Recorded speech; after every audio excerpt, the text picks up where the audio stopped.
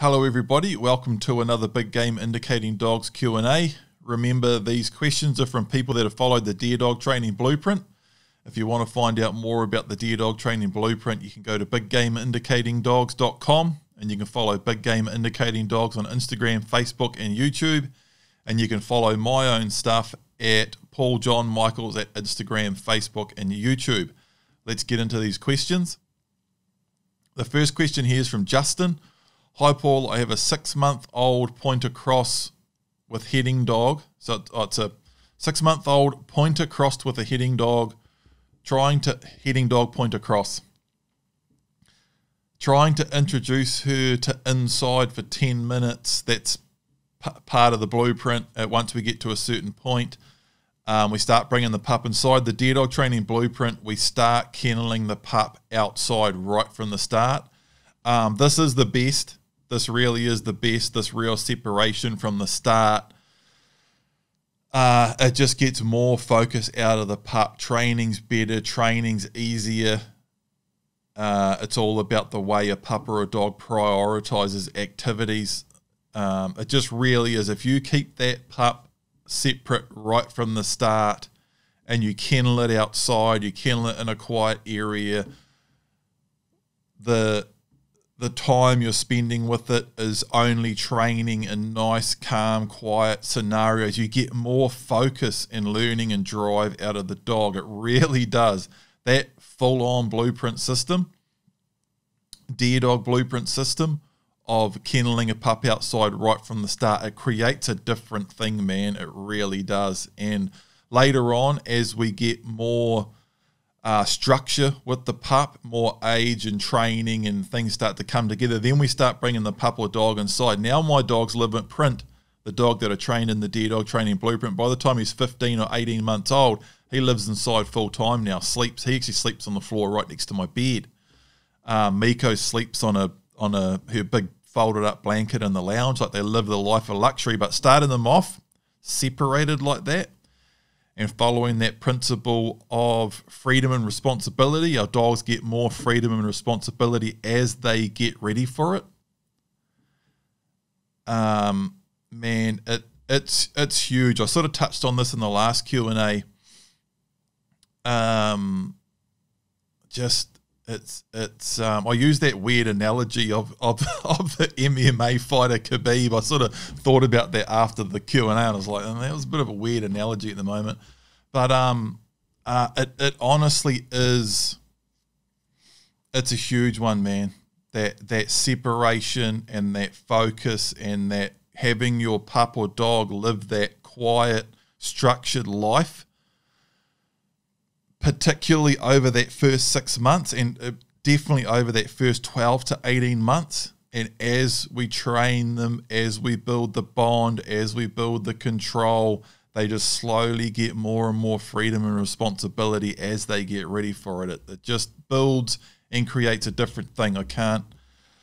It's something that I, have been thinking about more and more lately. You know, um, it's huge. It's it's quite a a full on topic, um, but it is huge, and, and we talk about it a lot in the blueprint, uh, particularly as you know, including early on in the blueprint. We talk about how the way a pup or a dog prioritizes activities. Um, and when you keep it all calm and quiet and structured like that, and if you kennel a pup outside on its own, separate from the household, um, when it sits quietly in a kennel on its own outside like that, and then you go out and let it out of the kennel, put a long line on it, and train it. Training such a high priority activity that the pup's so interested and engaged in, you just get so much bang for your buck. It, it's just so productive versus if a pup's been living inside, rolling around in front of the TV, climbing all over kids, walking around the the house, climbing on the couch, sniffing around the kitchen, and then you take it outside into the cold and the wet grass and put a long line on it and tell it to sit. It's just not interested, man. That's the difference. It's and it's just it, that whole thing there is huge it really is. Um, so I just wanted to give that for context for people that are listening that haven't followed the blueprint and and Justin's talking about kenneling his pup outside. Um, well, he's talking about having issues bringing his six month old pup inside because that's where he's starting off at that. His pup's about six months old, and we start doing that in the blueprint. We start bringing the pup inside. Once we've actually got a sit and a stop and a little bit of control and structure, that's when we bring the pup inside and we start bringing it inside at the right time and sitting it down next to us, introducing it to inside in a calm and structured way. And we slowly build that over the dog's life. If people, and this actually come up in the inner circle, the big game indicating dogs inner circle, it's a closed Facebook group that anyone that's following the Deer Dog Training Blueprint goes into, and it's a support group um, I saw it come up in there recently. People talking about um, having about it being their cold, being the, the puppy being really cold outside. You know, coming into winter here in New Zealand, and it's going to be getting really cold. And they had a um, down in the South Island, it's going to be getting really cold soon. You know, you're talking minus ten degrees Celsius. Um, in the deep, deep south on a really cold night. That is freaking cold. And uh, it was really good. In the inner circle, people were talking about all of the solutions that they've used. Um, you know, really warm dog jackets, insulating the kennel, using really good bedding and all of that. And there's people that have done that with breeds like GSPs and Vizslas right from a pup. They live outside. Even people that have a lot of dogs, um, and it's they can't bring all their dogs inside, so they they have to kennel them outside. People that are renting, there's a lot of people that that uh, don't own the house that they live in, and they're literally not allowed to bring the dog inside. There's all of these different situations. You can kennel a pup outside right from the start if you have to. Um, I think being able to do that is incredibly constructive towards training. The whole thing I was just talking about the the creating that contrast and making training a high prior, priority activity, giving that pup that calm, quiet, structured start to life.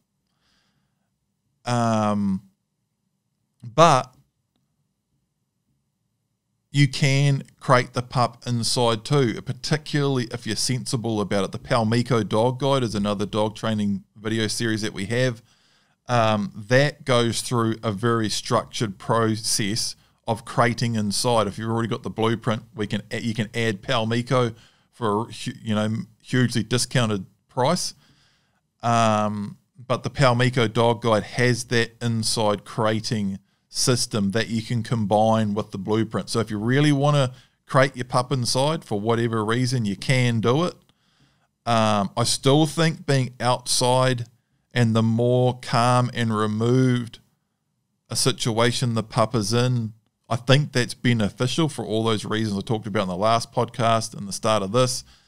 Um, but just giving a bit of bit of um, background here on this. So Justin's obviously had his pup outside, killing his pup outside right from the start, and he's saying he's starting to introduce his pup to inside, which is uh, it's in all in the blueprint and some of the in, in, the steps that we go through and training in the blueprint. You start bringing your pup inside. We do it all in a structured way. It's all in there, demonstrated and explained. Uh, but Justin's finding it. He's trying to bring his pup inside, and he said it's impossible to get her to calm down inside she seems to go nuts. She tries to latch on to me. It just turns into a battle, so I've just stopped trying to bring her in. Any ideas to calm her down in this situation? So, my notes on this is this is just an overall control and relationship thing. She's obviously a really full on dog. Practice kneeling more and stopping more outside and time and patience. So It really is just an overall control and relationship thing. If you, you know, the whole idea in doing it later on in the blueprint is to avoid that whole phase where we're bringing a pup inside and the pup is off lead out of the crate inside and just running amok, you know, and you can't tell it to sit or get down or do anything because it doesn't even have those commands yet. And if we come right back to our principles of real dog training that, that we go over in the blueprint, uh, anytime you give a you give a dog a command that it has the opportunity to not listen to is training the dog that it doesn't have to listen to you. And if you start reverse engineering a dog training system, keeping all of those principles in mind right from the start, you end up with the blueprint. Like that's what it is. That's why we kennel the pup right from the start. We use a long line right from the start. That's why we do everything in the order we do. All of these these step by step processes, everything done correctly in the right order. It's all reverse engineered. And, you know, this is a huge part of why all of that control and structure works so well and creates a completely different dog. Is you're avoiding all of these massive pitfalls that people get into.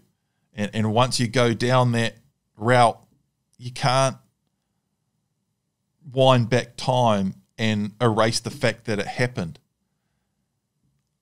Every time you give a pup or a, a dog a command that it has the opportunity to not listen to, you are training that pup or dog that it doesn't have to listen to you. Another one of our principles exposing weakness.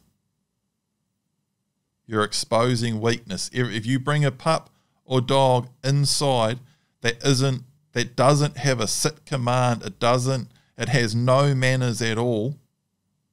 You have no tools in place to tell it to sit, stay. You don't even have that bond and relationship and structure and respect.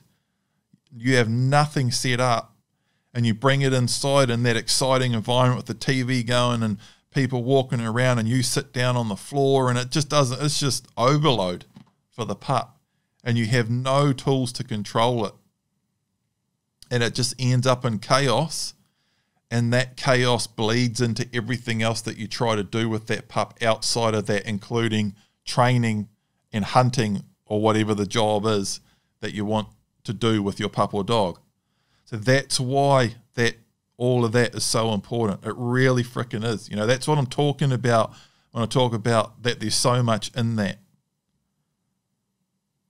That separation and structure and kenneling and crating and all of that early on. Like, and there's no way around that because that's the issue you're dealing with. You're putting a pup in a situation that you don't even have the tools to manage it yet. And it's just a recipe. You're just shooting yourself in the foot you're just screwing yourself over big time. So, back to Justin's question. um, it's just an overall control and relationship thing. She's obviously a full on dog, or there's some issues with your training and your management and everything else here. Um, basically, she's not ready to come inside yet. She's not. So, if if you're if you you're bringing her inside, and what we do in the blueprint is we actually sit down on the ground, on the floor in your lounge. I'm pretty sure in the blueprint, almost hundred percent sure I'm sitting on the floor. Like instead of sitting up on the couch and trying to get my get print to sit on the on the floor in front of me, I actually sit on the floor next to him and do a stop drill. Sit, print, sit, and I get him to sit down next to me and we just sit for like 10 minutes and we just run through all of the normal stuff that we do in a stop drill. If the dog gets up off the stop, I just put him back down. Ah, sit, sit him back down. As soon as he's sitting, give him a pat. Good boy. And I read a magazine. And I just sit there and read a magazine. I don't have the TV on. I don't have people walking around. I don't have all this noise and distraction and stimulation.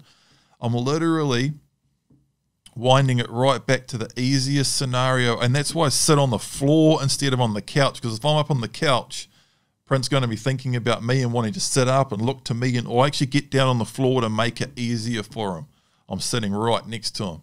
And later on, one of our steps in training is next next time I actually sit up on the couch or a couple of sessions later. And then later on I turn the TV on. And then I move a little bit further away from him. And then once I think he's ready for it, I get up and walk over to the kitchen, get a glass of water, come back and sit back down. And I slowly add more and more and more training and steps. It's another one of our principles until I can just bring him inside, say, Print sit, and he just sits, and I can just go about my life and everything's chill. Now he lives inside the whole time. He has since he was about 18 months old, and he had it all sorted. Um, so if you're in a situation where you're trying to bring a pup inside and you're trying to sit down and run a stop drill and it's just what do you say um, seems to make her go nuts and she tries to latch on to me and it just turns into a battle. She's not you're not you need, you've got more work to do outside before you bring her in. In the last q&a podcast, the Big Game Indicating Dogs Q and A podcast, I talked about um, like patience and, and every dog. Some dogs take much longer than others, and and you've got to be really careful that you're doing everything properly, and you're doing enough of it, and you're not doing a bunch of other stuff that's screwing up and undoing the good stuff that you are doing. Like you've got to do everything properly if you're doing everything properly to a T and you and you're not getting there, then it's just more time. And some dogs do take more time. They really do. Um, so it's just a time thing. Um, having said that, though, I've never worked with a pup or dog that I couldn't get if I did everything correctly up to six months old, I've never worked with a pup or dog that I couldn't get sitting next to me inside on the floor with no other distractions and me just sitting there quietly. That's quite extreme. You know, if you've done everything properly up to that point, everything's working correctly outside, everything else is up to spec, and I bring that pup inside and it just turns into this completely different animal. Uh yeah. Something seems a little bit off there for me. But nonetheless, if you are in this situation and you're trying to bring your pup inside, she's six months old and she's just going nuts, and you, you can't even do that constructive, just sit quietly for 10 minutes with no other distractions inside you've just got to go back, take steps back, go back and double check all your other stuff. You know how in the blueprint, as we get to about part three or four, before I start going over all of the new stuff that we're going to be working on in the new part that you're just starting to watch, I do the, the update and it's it's almost to the point of being a little bit ridiculous and annoying, but it has to be there. What the update is is saying, okay, before we start working and you start working on all of the stuff we're going to work in this part of the deer dog training blueprint, you need all of this stuff first. And I go over all of the things Print's already doing. And and I do that, that gets changed for every episode of the blueprint as we go through. On the earlier parts, I'm t- I, I tell you, okay, Print's now walking nicely out in front on the long line. He's doing a stop drill like this. Uh, we haven't, you know, we haven't done the introduction of gunfire yet, so we're not doing that. He's doing the basic skin drags. He's coming inside for 10 minutes. He's doing, this is all of the things Print's doing. This, this, this, this, this, and this. Make sure your pup or dog is doing all of that like that before you move on to this stuff. So if if you are where you're at with that six month old dog and you can't even bring it inside and it's just going nuts inside trying to do that stop, you've got to go back and work on all that other basic stuff and make sure it's like super tidy, like real good. If you can't do your basic stuff outside, you're not ready to move in and do it inside. Um, and if you can do all of that stuff outside, but you can't do what you're trying to do inside, again, it doesn't that doesn't really make sense to me. It seems like something's a little bit off there. But if you are somehow in a really unusual situation like that, that's this note here. Practice kneeling more and stopping more outside. So I can somehow imagine a situation where you're doing very structured, everything's very structured. The pup's been kennelled outside you're doing your stop, go, turn. When you do your stop drills, you just go sit, get the dog sitting, step back, move around, step back in, pat it, step back, release. And you're doing everything very robotic like that.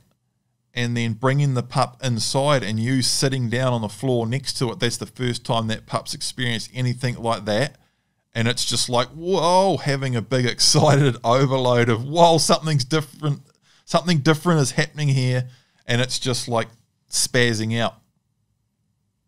If that's what's happening, I would do more outside, even outside of the stop drill, just when you're walking with your pup in between drills, I would just stop and kneel down. And and if the pup turns around and sees you kneeling, it will come barreling in. That's what it, if if it doesn't, there's something wrong. Like if you getting down at the pup's level should just be an open invite for it to come in. If it's not, call it in and practice interacting with it at its level. I mean, at its physical level. So you're getting down, kneeling down, and if it comes flying in and it's biting your hand and trying to climb on you, just up, push it down, up, push it down. If it keeps trying to do it, push it down and move on. And then keep practicing that. Pressure on what you don't want, praise on what you do want.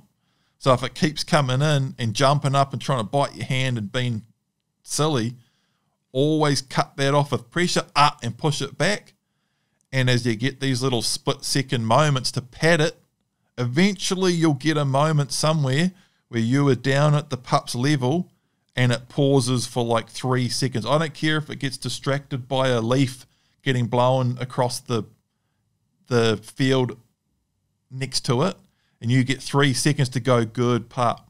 And you pat it for three seconds, and then the leaf goes past, and the pup switches back to you, starts biting you again, then go ah and move on and just keep rinse and repeat, rinse and repeat. My final note on this time and patience. Pressure on what you don't want, praise on what you do want. Keep practicing getting down at the pup's level. Every time it bites or jumps up or bangs into you and is just like over the top, put pressure on it, push it away, disengage, cut it off every time you get a half second, two second, three second to say good pup, do that. And that that example of like a leaf, I've worked with dogs a lot where in the first week or so, like everything's so freaking chaotic and out of shape. It is. It's just so messy. And it's just like banging your head against a wall and, and it feels very ineffective and impossible and you're literally like choosing those moments when the dog gets distracted and it's looking off to the side and you're like, good pup, good pup. And then it realizes and it turns back and it climbs all over and you push it down and you just walk away and, and you just have to, that's honestly what it's like. And if you do everything perfectly, consistently for long enough, you'll start making progress. You will. And you'll start to get more and more opportunities to praise the pup or dog while it's doing the right thing. Always put pressure and disengage with the wrong thing, and you'll make progress. You have to do everything right. You can't do you can't do everything right and then do a bunch of stuff out to the side of that that screws up all of the right stuff that you're doing. And then you just need to make sure you're doing everything properly in time and patience and rinse and repeat.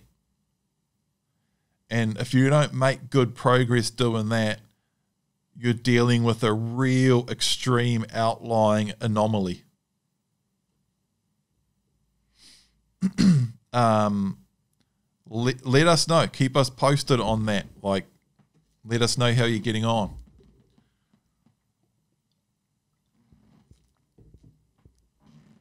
Uh, just sorry, just having a drink there. uh, Georgie. Hey Paul, we've got an eight month old GSP that has gotten a few of our chickens and unfortunately killed them. We're keeping them completely separated at the moment. Is there a way we can introduce them and train him to train him not to chase them down and treat them like a chew toy? uh, I got a lot of notes on this. First note is very difficult unsupervised. If you're talking about when you say, you know, we've we're keeping them completely separated at the moment, is there a way we can introduce them to them and train them not to chase them down and treat them like a chew toy? Basically, train them not to chase them down and kill them. My my notes on that is my initial notes on this. Again, I've got a lot of notes here. Uh, that's very difficult, i.e., impossible to do while the dog's unsupervised. It's a dog that's been bred for hundreds of years to kill, to, to hunt birds. A G, GSP can be a can they can be pretty hot. Uh, if you're talking about and and you at the moment you're dealing with an eight month old GSP. We're keeping them separate. Introduce him. You're talking about an eight month old male GSP. That's like there's a couple. There's a couple of dogs that are a Drahthaar's probably a, is arguably hotter than that. Uh, when I say hot, I mean like a, a dog with a propensity to want to kill a bird and like uncontrollably want to kill a bird, an eight month old male GSP, you, you're almost dealing with like one of the strongest examples of a of a dog that if it's in the same space as a bird, because eight month old, you, that's not you that's not fully trained no matter what you've done. We, we've had plenty of people that have been starting to hunt a pup carefully on the blueprint. They've pushed it through the blueprint faster. They've got the right pup. They've done an exceptional job and they've started and the dogs they've done all this scent work and they've got it introduced to gunfire and it's and they started hunting and started shooting deer with an eight month old G uh, uh, Vizsla. I don't actually know of a GSP off the top of my head that started successfully that early. We've had people do it with Vizslas heading dogs. I've done it with heading dogs in the past. Um, but you're talking about leaving an eight month old GSP uh, off leash in an area with a chicken. uh, I would be irresponsible if I told you that there was any way of setting of, of having that dog set up in a way that would guarantee that that dog isn't going to kill that chicken. There's no way you can do that. That's and that's supervised. You know, you're talking off leash, like free in the same space. That putting a eight month old GSP, I don't care how, what you've done with it, off leash in the same space as a chicken is, setting that dog up to fail big time. And there's nothing that you can do to guarantee that that's not, that isn't going to go sideways on you. That that dog ain't going to kill that chicken. Again, it's a dog that's been bred for hundreds of years to kill birds. Um, not necessarily kill them. Maybe it's supposed to point them. Maybe it's supposed to retrieve them. Uh, but it's definitely trained to hunt them, and it's definitely trained to kill stuff. You know those those versatile German dogs.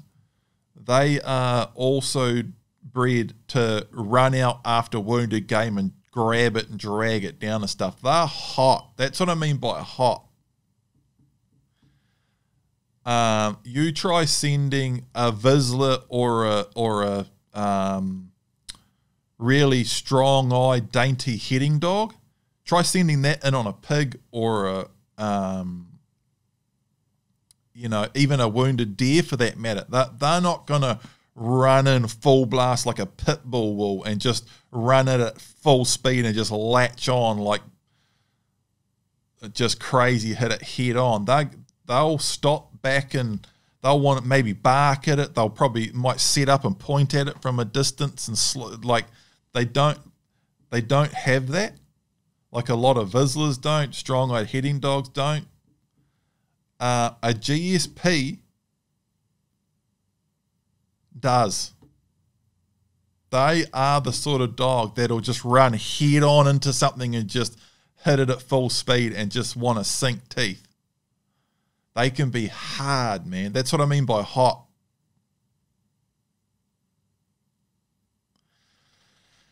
Um, it's a dog that's been bred for hundreds of years to do what you're asking me how to stop it, how to get it to stop doing it. Um,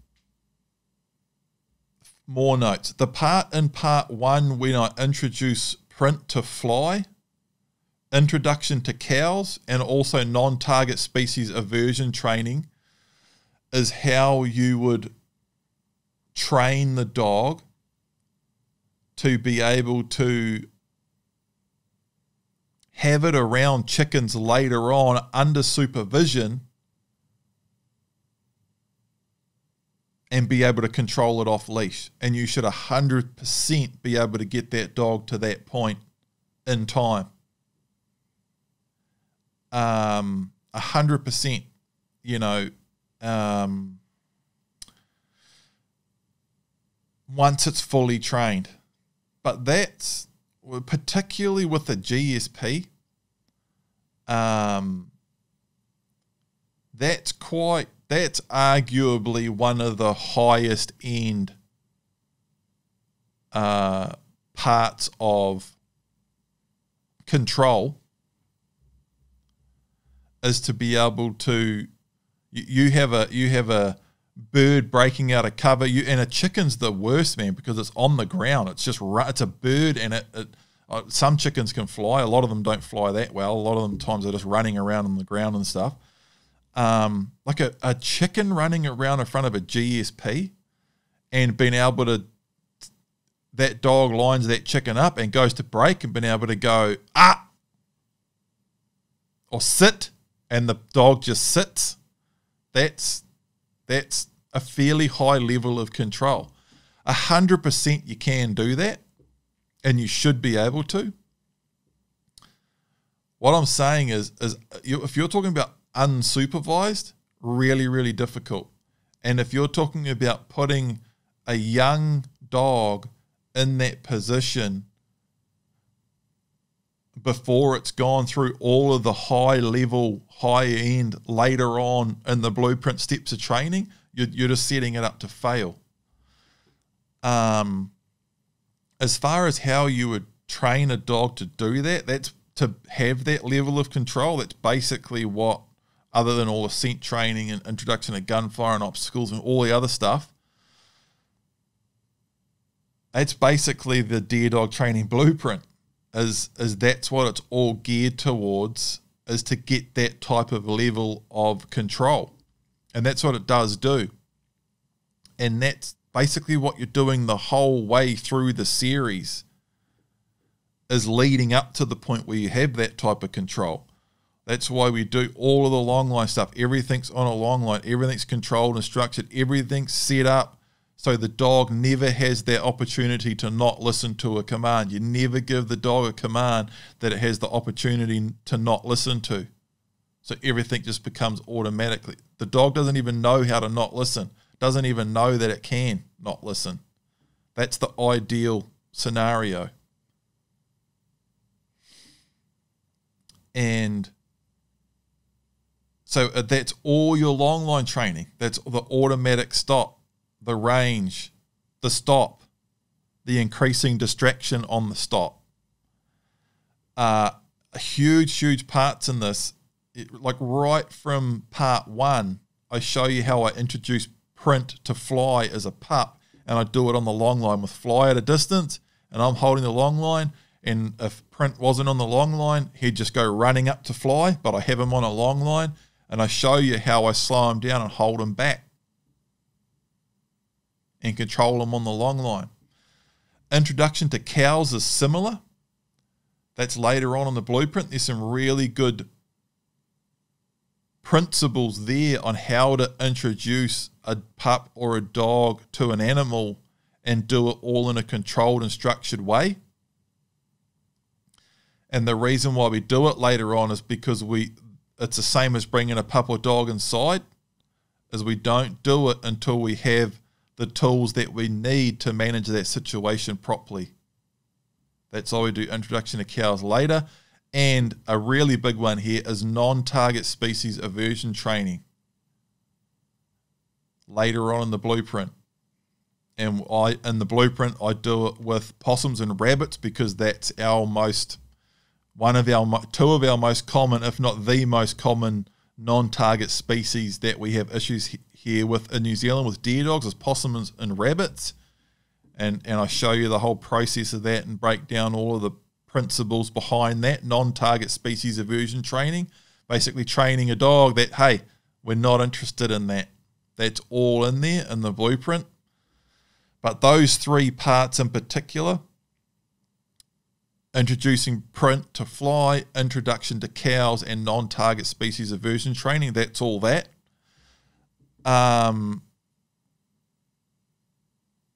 so it's kind of all in there, you know, and and you're saying we're keeping them completely separated for the moment. Is there a way we can introduce him to them and train him not to chase them down and, and treat them like a chew toy? Train him, him not to chase them down and kill them? a hundred thousand percent there is a way that you can train him not to chase them down and kill them while you are there. There's zero ways of training him to not chase them down and kill them while you're not there. Zero. So as far as a hundred percent for me to responsibly say, uh, Georgie, do this, this, this, and this, and that dog is never going to kill one of those chickens while you're not there, I would be a bullshitter if I tried to tell you that there was a way that you could train a GSP to guarantee that it's not going to kill a chicken while no one's there. There's no way of doing that. Uh, you could go down the e-collar route and basically do what they do in uh, Kiwi aversion training.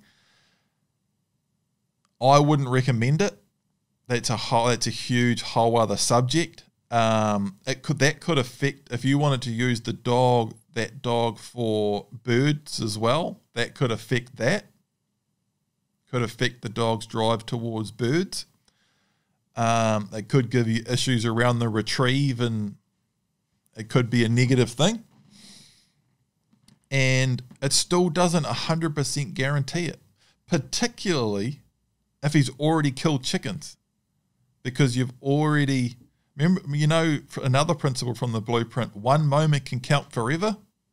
That's a biggie man. Like a, a putting a gsp pup in a situation where it kills a chicken that's a big moment you can't erase that that dog knows that it can do it that it's fun that it, it didn't the chicken didn't electrocute it last time. So you could elect, you could do your e-collar training, you could do tons of stuff. And you can momentarily fix it. There's stuff you could do, and you could say, see, he's not doing it now. So what I did worked. But like a hundred percent guarantee, no. So it all comes back to the same stuff proper training, following the system properly, everything is in there. You can definitely get basically any dog to the point where you can control it around extreme distractions while you are there.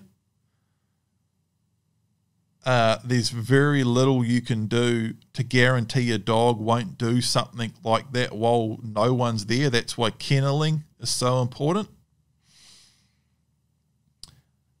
Uh, management supervision. One another note here: if you leave a GSP unsupervised where he can get to chickens, he's probably going to kill chickens, and that's that's what it boils down to. If you train right for long enough, you can do it. I mean, supervised. Uh, here's another note Miko and chasing and how she's good now off leash when I'm around. So Miko is the Vizsla heading dog cross that I trained in the Paumiko dog guide. Uh, and I spoke talked about her in the last Q&A. She went through a phase where I'd basically done did everything that was in the blueprint. Uh, well, no, actually, that's not even that's not even remotely true. Uh, the Paumiko dog guide was was very structured, a lot of the same principles out of the blueprint, but uh, to nowhere near of the level that we train in the blueprint. The Paumiko Dog Guide is our general dog training video series. that's on how to train, just have a well trained pet. But we did use a long line. We did do a lot of uh, crating and kenneling and a lot of training. And but nowhere near to the extent that we do in the deer dog training blueprint with all of the automatic stops and um, increasing distraction on the stop. And the, the deer dog training blueprint goes way so much more, so much further in that respect of control. And and it's got all of those other elements of you know Miko was inside right from a pup and she had more freedom and less structure. I bet if I had to put Miko through the blueprint instead of the Paumiko dog guide, I bet she would have been far closer, if not all the way there to being ready to be off leash around distraction uh, far earlier than she was with that more relaxed system of the Paumiko dog guide. Um, but Miko went through a phase where I'd done a lot with her. I thought she would be ready to be off leash around distraction like like that, like chickens, birds, seagulls, pukekos in the parks around town here. Um, but she just freaking wasn't yet. And I had two major incidents with her. Um, one was an incident where I was in the early stages of letting her off the long line. And she was looking good, looking fine, everything was sweet. And then one day on the beach, she just lined up the seagull. trying to remember how old she was at this point, probably 12 or 14 months old, somewhere around there. We'd done you know, all of that time of training with her. She had to stop, go, come. She was all house trained. Um, she had a lot. She had a lot. She really did. And she had a lot of time on the long line and a lot of drills. Um, good recall, all of that, but it wasn't good enough yet. And I had her off leash at the beach, and I was a little bit too chill I was giving her a little bit too much free reign, a little bit too much freedom. Before she was obviously wasn't ready for it. She lined up the seagull. I saw her doing it. Said, "Miko, Miko, come!" And she just switched her ears off and went. and chased the seagull. And it was just that classic scenario. We're like, Miko, me, and you're like, yeah, you're like that dude yelling at your dog, and your dog's just ears are off, and she's and she's just chasing the seagull like 300 meters up the beach, and I'm running after her, yeah, running after my dog, uh, yelling my dog's name like um, what's that? What's that really famous meme? Um, like Fenton, or it's actually Benton. Benton, Benton, the English guy that's chasing his dog through that park, and the dog's chasing like a hundred deer across a motorway. And he's like, "Oh my god, Benton!" I was like that, running up the beach, Miko, and I'm a dog trainer, you know, and uh, got her back and thought, okay, I'm going to have to be and, and followed my own training principles. Took a step back. She was back on the long line for a long time. I just put her. She was back on the long line, and I had another incident. This all happened within it. It was probably about. I did another six or eight months where I was real careful. So she she went from being about twelve months to about eighteen or twenty months old before she was ready for that extreme distraction. I'm talking like a rabbit running across in front of it, a, a, a seagull. And you know, seagulls, th- this seagull, it got up and it flew like about a foot off the ground. And for whatever reason, it didn't want to get right up high or fly off to the side or anything. It flew like right on the high tide line, right on the firm sand, right where we walk up and down the beach like almost every day Right where Miko knew she was about to go, the seagull just got up and flew about a foot off the ground, just straight up the beach. It was just like someone throwing a frisbee that just never stopped flying. You know, it was just as far as a a thing for Miko to chase. It was just that perfect scenario, and um, and she went for it. Uh, so I went back. She was always on the long line again. Long, long, long, long line. And I just went back to doing our walks in the long line, doing stop drills. Um, I stopped putting her in that situation where I was setting her up to fail. And just carried on like that.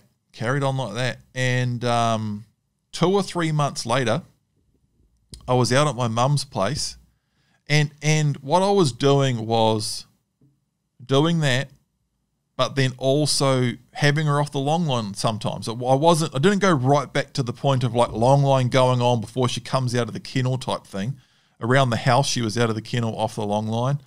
Um, and I was being too lax with her too. I really was. I'd finished filming most of the Paumiko dog. I'd basically finished it at that stage. And you know, I wasn't filming the blueprint.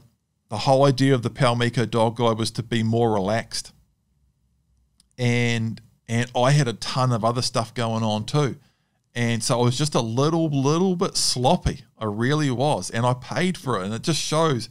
And this is like when I go on my talks about how important that structure from the blueprint is and how it creates a different thing how what Print is and and what he was turning out to be as we went was just a totally different thing to a system that was a little bit more relaxed than that. That's like what I've done with Miko, how it's driven home, how important all of that stuff in the blueprint is. It's just like it's reminded me what I already knew. You know, I almost started to forget some of what I already knew.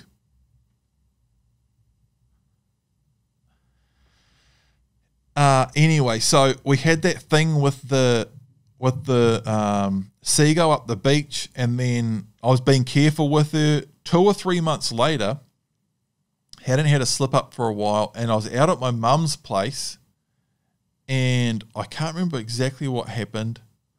I think I was just doing something on the back lawn. I just turned up and I'd, I'd let the dogs out, and we were going to go inside. And the dogs come inside at Mum's place too.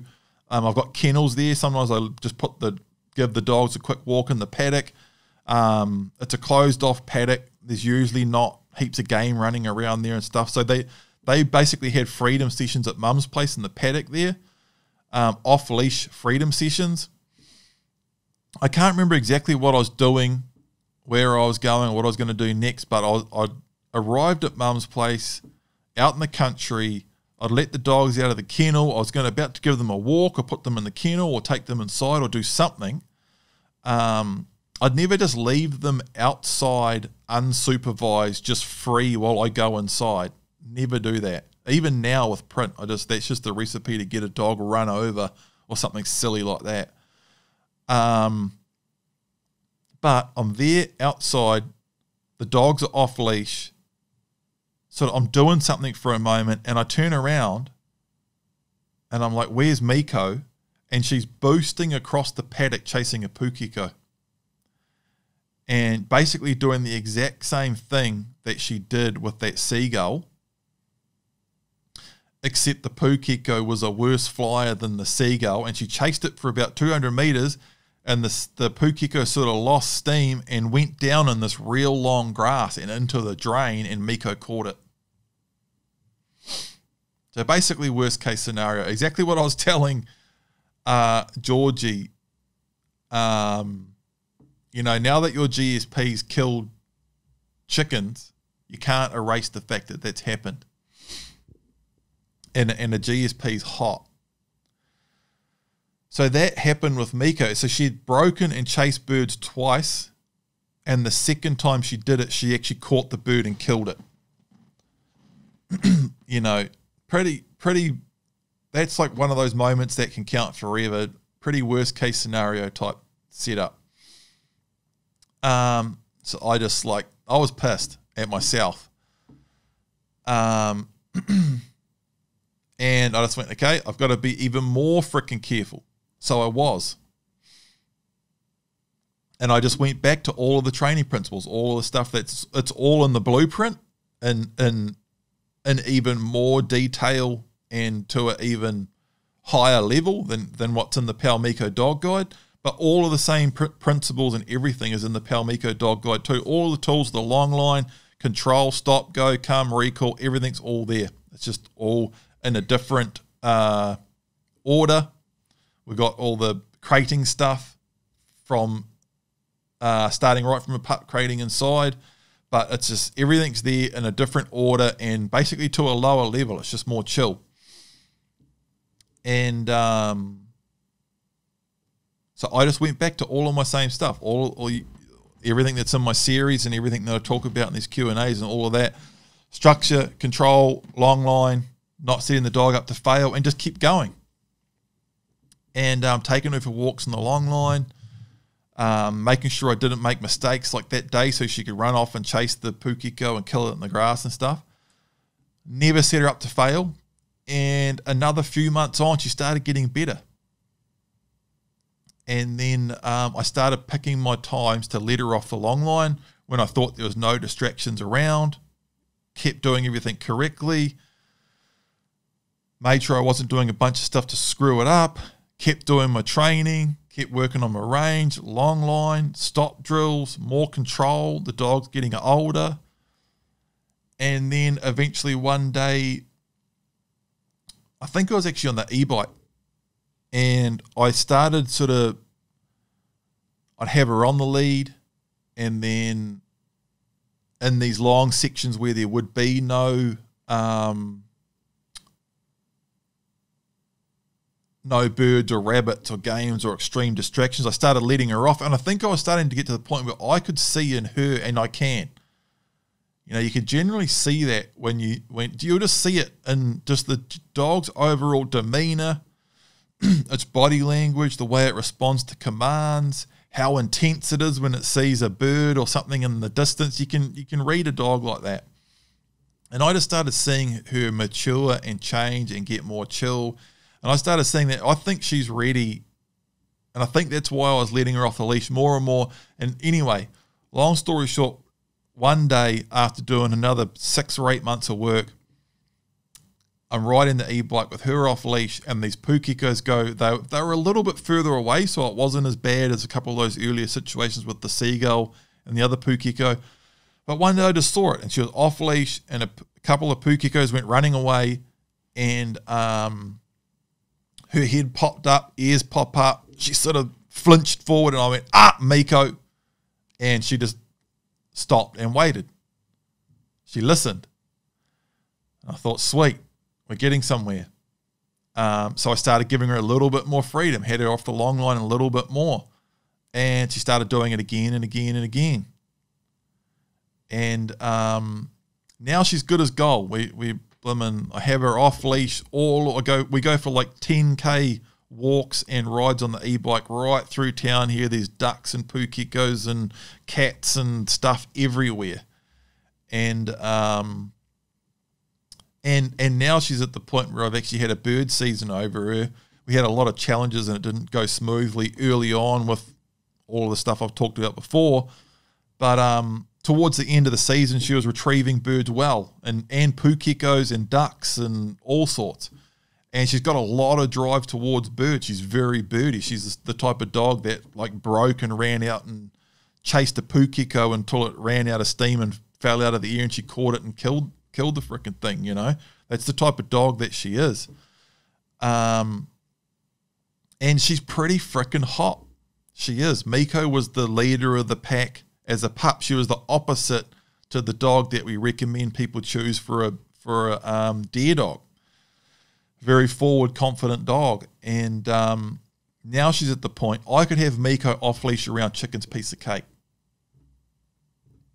But could have I had Miko off leash around chickens even when I'm there at some point? No way in hell.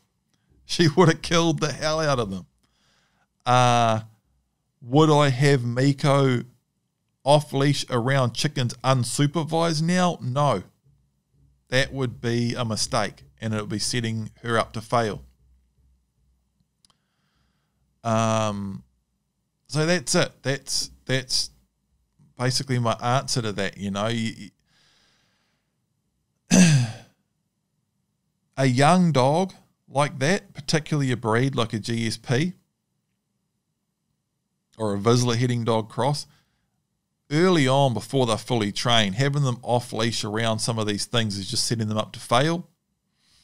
You can definitely train them to the point where you can have them off leash around distraction like that and you can control them. But it takes work and time.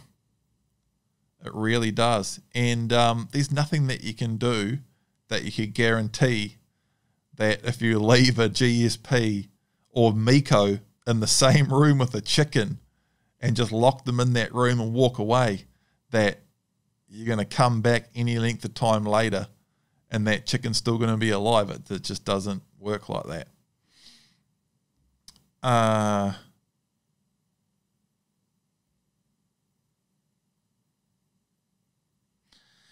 yeah, so last couple of notes you don't leave working dogs, gun dogs, hunting dogs, farm dogs not locked up and unsupervised you have to remember what a working dog is.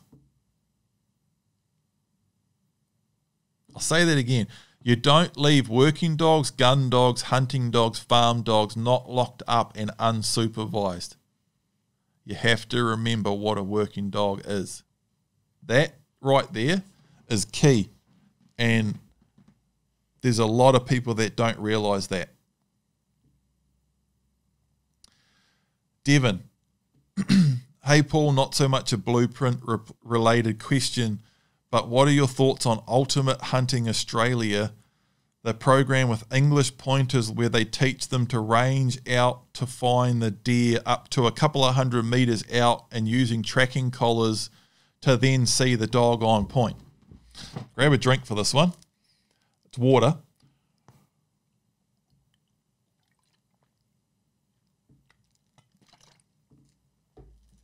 Um, I've talked about this before. Excuse me. This is a bit of a blast from the past. Um, I've talked about this before. I thought about whether I should answer this question or not, but then I, I I know I should, so I'm going to. And nothing's changed on this for me. For people who have heard me talk about this before, um, so yeah, there's a guy in Australia, Ultimate Hunting Australia, and he has a program. He he I think he breeds English pointers. And I'm not 100% sure on this. I don't follow his stuff closely at all.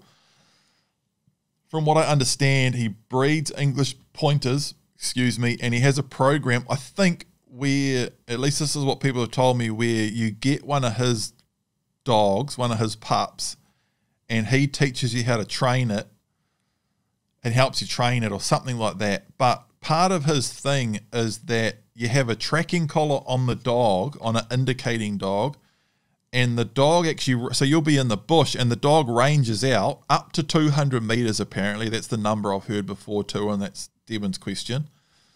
Um, the dog ranges out in the bush, out of your sight. So you, you just like, I don't know exactly how it works, and I don't really understand. Well, I don't really, to be honest, and we'll get right into this. Okay, I've got a lot of notes on this.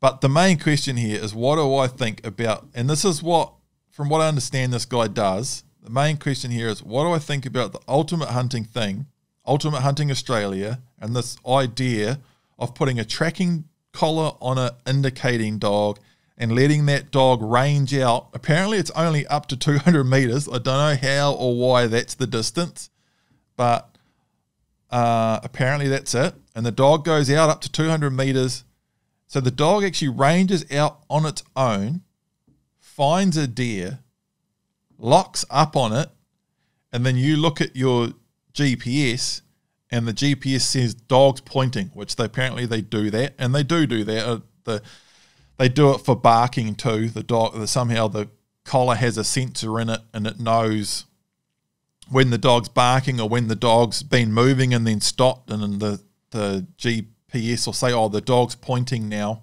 or the dog's barking now. It's not perfect, and I've seen them screw up. And I and I have used collars before and tracking collars and all of that, and the Garmin stuff and the alphas and all of that. Um, but apparently, part of what this guy does is he lets the dog range out up to 200 meters. The dog finds the deer on its own locks up and points it. You look at the GPS, go, sweet, the dog's pointing, it's pointing a deer. Then you sneak over to where the dog is and you shoot the deer. My notes on this uh, it doesn't make sense to me. For me, there's loads of issues with it. I don't know anyone that does it. Someone told me that that guy hunts on private land with lots and lots of deer on it. Um, a couple of people have told me that. That could be a huge factor here. Um, that's also hearsay, by the way. And, and by the way, a lot of this is. Um, this whole 200 meter thing is just sort of people ask me about it, and I'm only going off what people tell me. Um, but the question is, what do you think about the setup and the idea of going out 200 meters? If, and this is my answer on based on that if that's what this guy does. Okay. Um. So that's one thing here. Someone did tell me that this guy hunts on private land with heaps of deer on it.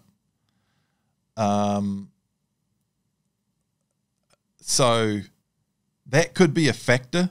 You know, you you may be able to branch out and do different stuff if there's heaps of deer and they don't have that much pressure. I don't know. Um, I've also said here, I'm sure that he hunts on public land that's really challenging too. I'm sure he does a variety of stuff. Um, but I don't, I'm, that's just a side note. Um, maybe that could be a factor. Um, going further on through my notes, it's a very different thing to what I do, and it's very different to all the best hunters that I know and that I have seen hunting over indicating dogs. So I've done a lot of hunting over indicating dogs, and I have worked with and known guys that and girls that hunt over indicating dogs and have shot a lot of stuff over indicating dogs, like thousands of animals, uh, professionally, recreationally. Uh, in some of the most challenging circumstances imaginable, right from some of the most challenging circumstances imaginable with very low numbers of animals and animals that have had extremely high pressure, right through to very high numbers of animals with very low pressure. So the two extreme ends of the scale, and none of them do that. None of them do anything remotely like that. Um, and I haven't talked to loads of different hunters that I know that don't do this about this idea, but I'd be pretty sure most of them, if I talked to them about it, they'd be like, "What?" like honestly, I'm just being honest here, okay? And I don't, I don't want to. Again, I said, um, I almost didn't answer this question, but then I thought I should. And honestly, like, good luck to that guy. Um, to the guy at Ultimate Hunting Australia. Um, and the people that are training their dogs that way. I have nothing against it, but this is my honest answer about it. Um, you know, it's very different to anything that I do and anyone, and it's very different to anything that anyone that I know that has been good. It's very different to anything that they that they do as well. Um, we also use tracking a lot you know, um, I just put that new video up, uh, how a deer dog works, and I break down those three different hunts, including going to the whiteboard, and I, and I break down how it all worked. Um, you know, tracking deer for five, six hundred meters. Um, the track and switch too. So a dog tracking an animal for a few hundred meters and then switching to the wind. Um, and also another find there where the dog Print took us in five or six hundred meters on the wind and he started taking us in on the wind. We lost it. We kept heading in that direction and he picked it up again and started again. So there's all of these things that happen. So, you know, we use tracking a lot. We often track for way more than 200 meters up to kilometers. We use the wind a lot, often way more than 200 meters. We use the track and switch. So that's when the dog tracks an animal and then hits the direct wind and starts going in on the wind, the dog can also wind ground scent. So go in on the wind, hit the ground scent, track the ground scent, and then switch back to winding. And finds can be in extreme circumstances. I've had dogs winding animals like 800 meters away, a mob of goats. 800 meters. So in that case, sending a dog 200 meters out, what happens there? Does the dog get 200 meters out and then you call it back? And then do you go over that 200 meters so you can read the dog and work out what you think is happening and then carry on from there? Or do you let the dog go the 800 meters? Like there's so many reasons why it just doesn't even make sense to me because that 800 meter find, for example, that was goats and that was a, a professional goat hunting job and we were like doing a formation hunt through this big valley in a in an area where they were basically working towards eradic- eradication and there were quite low goat numbers in this area but someone had spotted some goats in this one area and in some of those circumstances, it's like we know there's goats in there, we need to get them. And we've got this huge area. There's bugger all goats here, but there's a couple. There's been some spotted down in there, and we just need to sweep the whole area, and we can't leave any behind. So we did this big formation hunt, and it was sort of this valley, um, with a lot of gorse and scrub in the valley, but it was all open outside and around that and I think there was three or four or five of us, and one guy went up the creek, another guy was on the face on the true right above the creek, another guy was on the face on the true. I was on the face on the true left, and there was a little side branch to the creek. Someone was coming down there or sidling the face above that, and someone was in the open right around the top coming in from there. So we were sort of just sweeping this whole area. We all had dogs, indicating dogs and bailing dogs, tracking gear so we could all see our dogs. We can see each other's dogs. We all had two way radios. So it's just like this freaking special operation. We just, you do not want to be a goat in that gully and um, we're hunting it in a way that we can start at the bottom, sweep the whole thing, and, and if we come out the other end without hitting anything, you can be pretty freaking sure that there's no goats in there. And if there are goats in there, we're going to find them. So, uh, I it took us a while to get into position, right? Because we started on one side and the first couple of guys, basically right where we first, they're already in position. So I had to get one guy had to drop a little bit down, and he's already on his face. Another guy's got to drop right down into the creek. I had to drop right down into the creek, climb up the other side, get on the face, and then I basically, uh, and then, but the guy in the creek's moving up, and we're just talking on the radio like, "Is your dog anyone? On, what's happening?" And everyone's like, "Nah, dogs. My dogs aren't keen." Bailing dogs won't go anywhere. Dogs not indicating, but we'll just keep moving through. As soon as I got up on my face, uh, I'm up high and and the wind was coming down this valley and Fly was just indicating, indicating, just like I, I knew she. I I didn't in that scenario. You don't want to be like Fly's indicating a goat. Fly, I'm on goats, guys. I'm on goats. When like, and not but you're wrong. you just look like a dick. But I just Fly was indicating, and I was like, man, I'm I'm pretty sure. She, and she was just we just had this beautiful breeze coming straight down this gully, and but you've got it you can't just charge off. You we were running this formation, and um, I just said to the guys, Fly's indicating whatever it is, it's far away, but she looks pretty keen. I'm like, okay, sweet. And the guy in the as we walk move up, I'm waiting for the guy in the creek to move up, and the guy in the other face is moving up, the other guy's moving down, and and we're sweeping this whole area, and then it was like, uh, yep, Paul, start moving up, and my job was basically to sidle the whole true left hand side of this valley I was like, sweet, moving up. Um, Fly's indicating, and I'll just keep sidling and see what happens. And as I sidled, I actually dropped down into a dip and we dropped out of that wind that we, we were initially in. And she lost track of it. And um, it was this gorse block. This was um, down Makara in Wellington.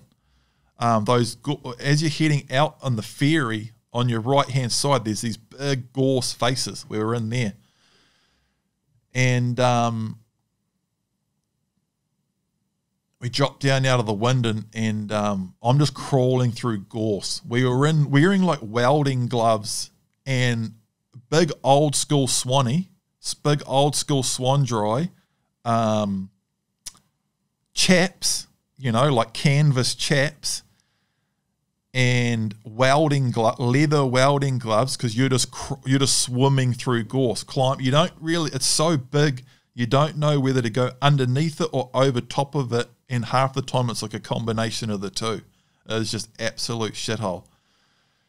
And so I'm just climbing through this gorse for an hour or so, and then I popped up on the next little spur, which was back up into that wind.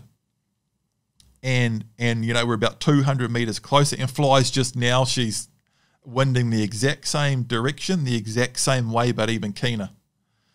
And I said to the guys, um, Fly's still winding. I, I think there's probably something here. And they're like, okay, sweet, whatever. Just they're still moving up. No one else was on to anything yet because there was nothing in the area. And we just keep doing the sweep of this whole gully. And then as I got further and further up, I was going to get to the point where the wind was sort of coming on, quartering on. uh, coming from my right, from in front of me and out to my left on sort of the 45. And Fly's just winding out across the gully, just looking in one direction, just like that's where I want to go, and that's where the wind's coming from.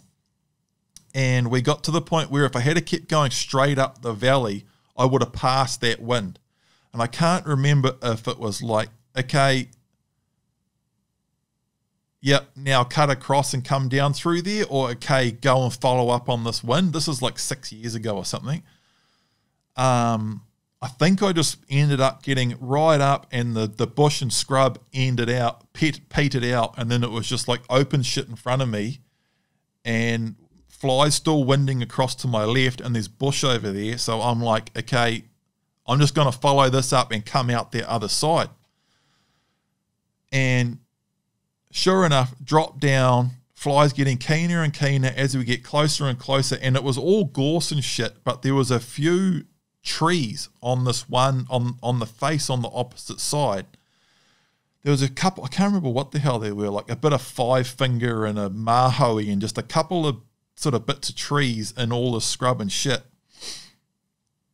And as we got up under those trees, um, there was fresh goat sign. I hit fresh goat sign, and Fly just put her nose down and started tracking. And I said, um, so if we rewind right back, you know, this is now, this is probably five, six, seven hundred meters, maybe 800 but I'm tracking a mob of goats with some billy goats in it. So a dog on a, on a perfect nice breeze, a dog will smell a mob of animals like 800 meters away. And Fly started tracking. And um, so I got on the radio. I, I'm pretty sure I'm tracking goats. And they're like, okay, keep tracking it. I'll come around above. And um, we tracked right up out of the bush. Now we're just on like these open grass flats um, or going up this open grassy ridge. And I'm like, I don't know what's going on. I'm still out in the open. Oh, I'm out in the open now. Fly's still tracking. I reckon I'm tracking goats, but it didn't really make sense. It was a little bit weird because now we, I'm like, and I'm tracking like back towards Wellington town, back towards like this mountain bike track right out in the open and stuff. And it was just starting to rain and get windy and shitty. And the other guys had sort of done their whole area and they were headed back towards the track and the truck and stuff. And I'm like, I'm pretty sure I'm tracking goats here. Okay, keep tracking them.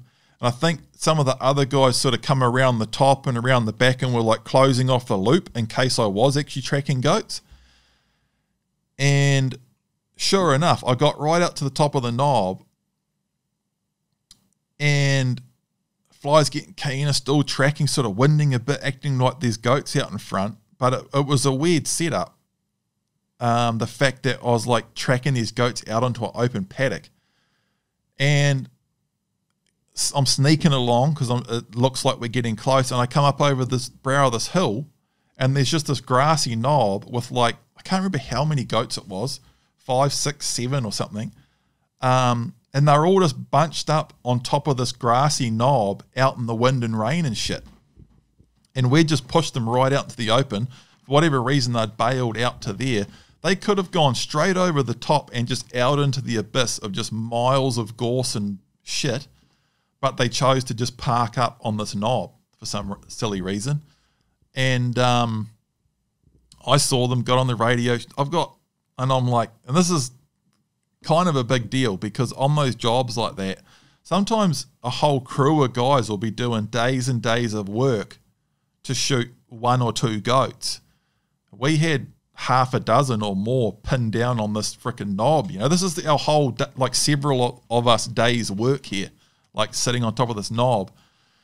Um, and they could have bailed off into the abyss any time too they were like 20 meters away from the bush edge over the other side and just off into miles and miles of bush. And I called up on the guys and they come around the other side of them and we basically got the mob surrounded and um, shot them all. And we just got got them basically surrounded um, and got that bush over the other side blocked off hooked into them on the mob, shot on, the knob, shot two or three or four or whatever it is on the knob itself and pushed them back out into the open and shot the last couple as they were trying to get away back down to the bush that we'd initially pushed them out of.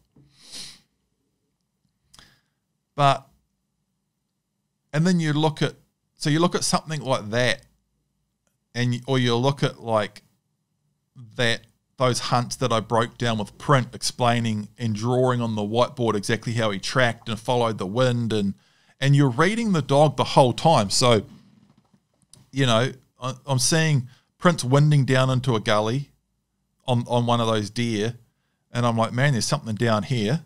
And we drop down into the gully. The wind changes. Print's wanting to head up, and I'm like, okay, that's probably up there. So we go that way. Spook a deer. Okay, keep going um, next thing, the wind's coming down the side, and I'm like, that's probably up there. So, so I'm constantly reading the dog and making decisions as we go. Um, like me working together, the hunter working together with the dog and reading the dog and working together as a team is a constant rolling process, you know. There's no, to, for me, and again, for a lot of like all of the best indicating dog hunters that I know, there's no application or reason for sending the dog out to like, hey, you go over there, see if you can find one and let me know. I'll watch you on the GPS. There's no application for that. 200 meters in the bush is like four minutes walk. So if the dog is indicating that way, I'm going to follow it and see what's down there and read the dog as we go. You know, it's just it like I've said it before and and just to be honest and I've said this before I have and back like this is years ago now. I actually said it's ridiculous.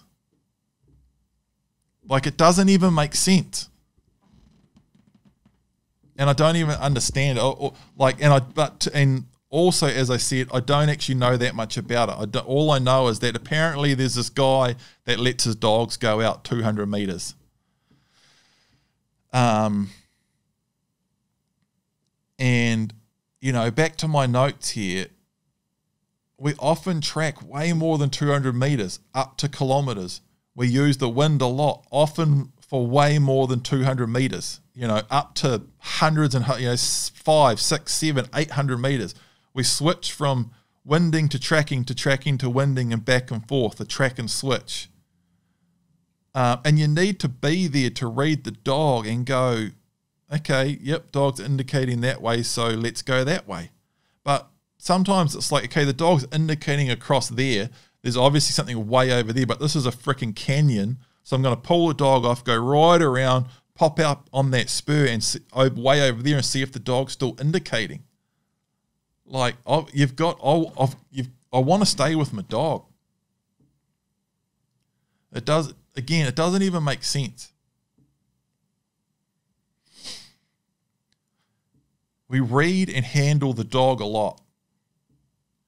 Here's another note sending the dog out to hunt on its own and point and then go to the dog with tracking gear just has no place in the way I hunt. And it doesn't have a place with all of the best hunters I have seen hunting over indicating dogs. I might be missing something and and I encourage if, if someone's like, hey, no, I've actually did this because of that, or someone can explain something else or another side of it in a better way, I'm totally open to that. Um, you know, but this is me answering this question honestly, you know, and I think it's important to, if the, this is what we're doing, to to really get into these conversations and talk about it. Um, but to go back, you know, sending the dog out on its own to point and then go to the dog with tracking gear has no place with the way I hunt. It doesn't have a place with all of the best hunters I have seen hunting over indicating dogs. Even with people that have shot thousands of animals in some of the most challenging situations you can imagine. low animal numbers, really spooky animals that have been under high pressure. And then if there's really high animal numbers, then there's even less need for it. If there's really high animal numbers, I'm, I'm going to be more likely to keep my dog in. I'm going to be having more contacts. I'm going to want to be more selective. Um, again, I almost didn't want to answer this question, but then I, I know I should. Uh, that's my answer. On it, to be honest, I think it's silly. Um, and but each to their own, each to their own, you know. And honestly, good luck to anyone, to the guy from uh, Ultimate Hunting Australia, and the people that are training their dogs that way. I have nothing against them. Um, if it works for them and that's what they want to do, awesome. But that's my answer to the question as I understand it at this point.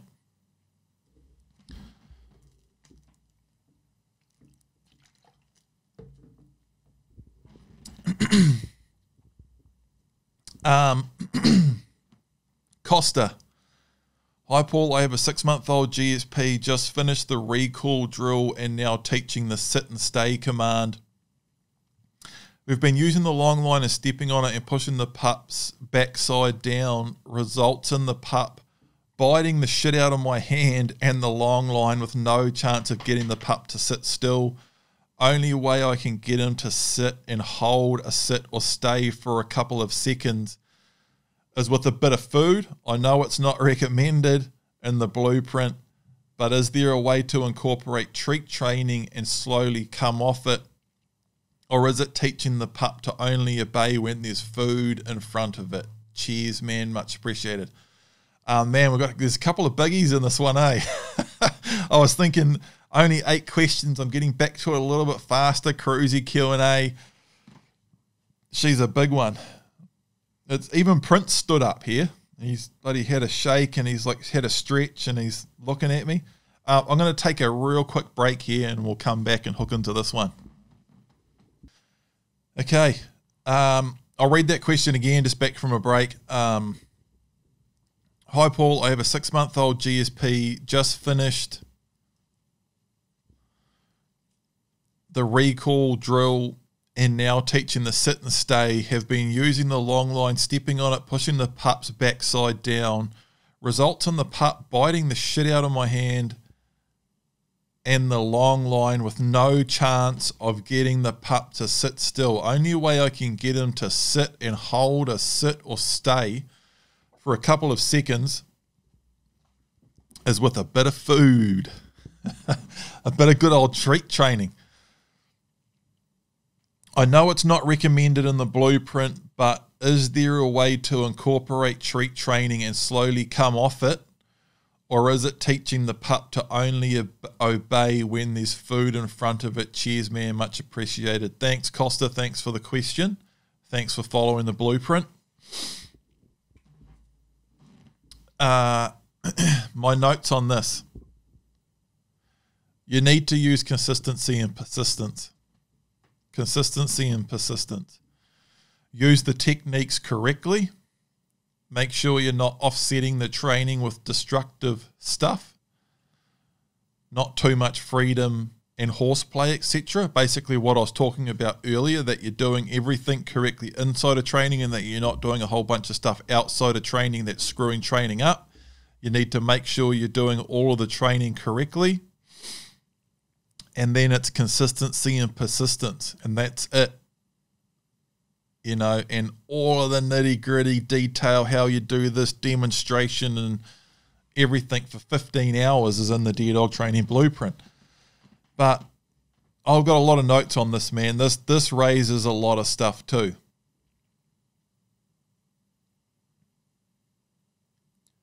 So make sure you're not offsetting the training with destructive stuff outside of training, too much freedom and horseplay make sure someone else isn't doing that too, so that you're not doing everything correctly, but then someone else is screwing it all up while you're not around. Here's the here's a biggie. Don't use treat training, just don't. and I don't laugh to be facetious, but seriously, don't use treat training. Just don't. Using treat training is like drinking Coca Cola so you can have energy in the gym to have a good workout to try and lose weight.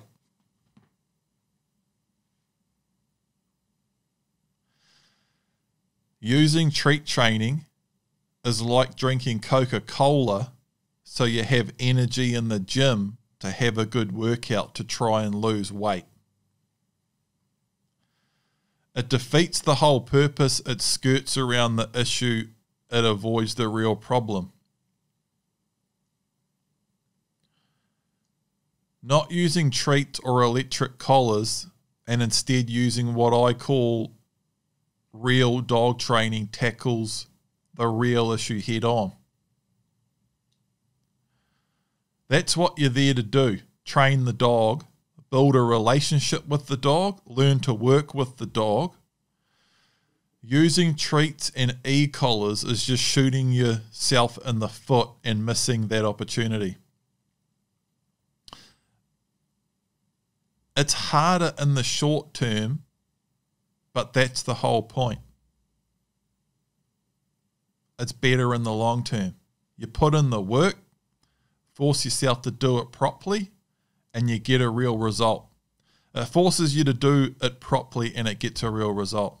It's so important. I really encourage people to do it all without treats. I really do think treat training can be detrimental. You don't need it. It can be a huge distraction. I know some good trainers do it and get good results. And again, I have nothing against that, each their own. But I don't use treats, and I don't recommend anyone that follows the blueprint uses treats. And it's not a small thing, I'm not flippant about it.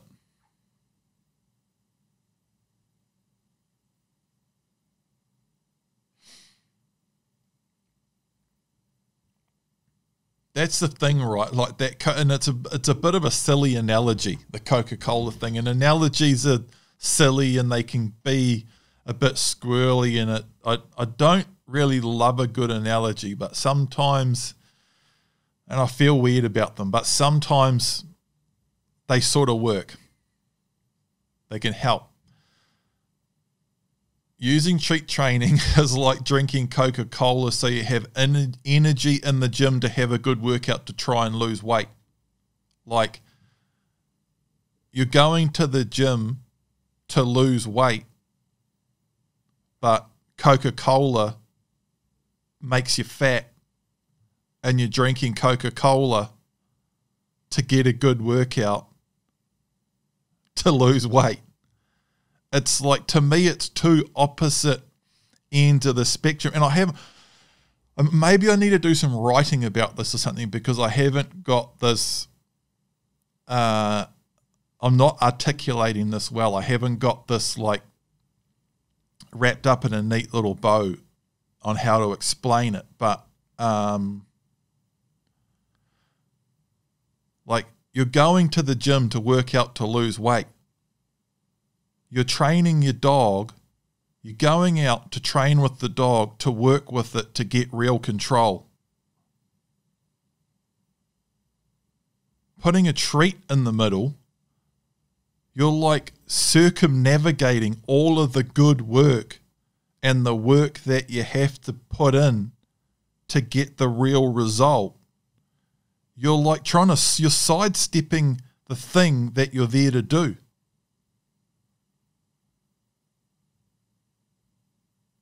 You, you're like avoiding the real issue. And why I believe if you if you get into dog training and you and you understand it to a level and you execute it to a level where you can get there without treats I think you get to a better place than you do with the treats. And that's not to say you can't get there using treats, but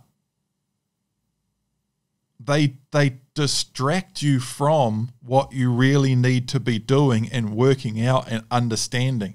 It's that oh, it's a really good freaking line that once you understand dog training well enough to use the treats perfectly, you understand that you don't need the treat.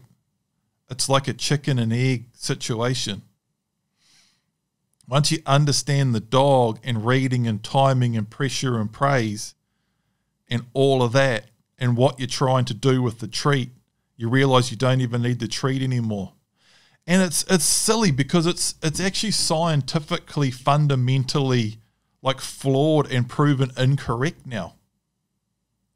The old line on treat training used to be that oh dogs have a stronger psychological response to the food than they do to praise. That's been proven incorrect. Like in like 2016. Uh, it was somewhere, it's not even that long ago. It's in like the last 10 years. They did a study where they they they must have trained the freaking dogs to hold still and keep their head still. But they did it with a brain scan they were they were scanning brain activity in dogs, and it was something very very high, like nine out of ten or ninety or ninety five percent of dogs have a stronger positive emotional response to praise than they do to a treat.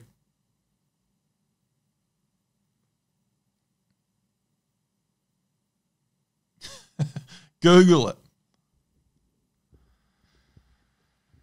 So, you know, and treat training does get that pretty instant the dog looking up and every and, and, and sitting down and looking up and gets their focus and attention.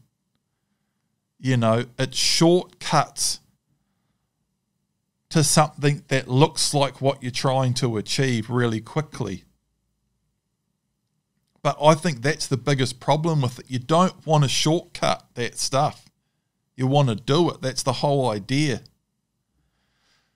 And the process of learning that and doing it without the treats is what gets the quality result. Is, is what turns you into a dog trainer and gets you and the dog working together properly for each other. The treats is just putting something else in between that takes away from that. And that's what you're trying to do. You're trying to get that connection and bond between you and the dog for each other.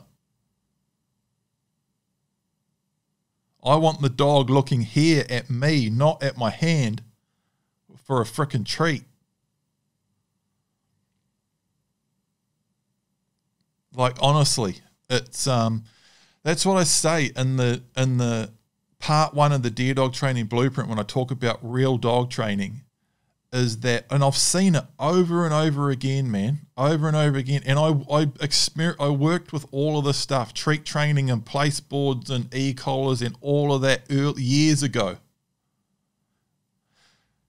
And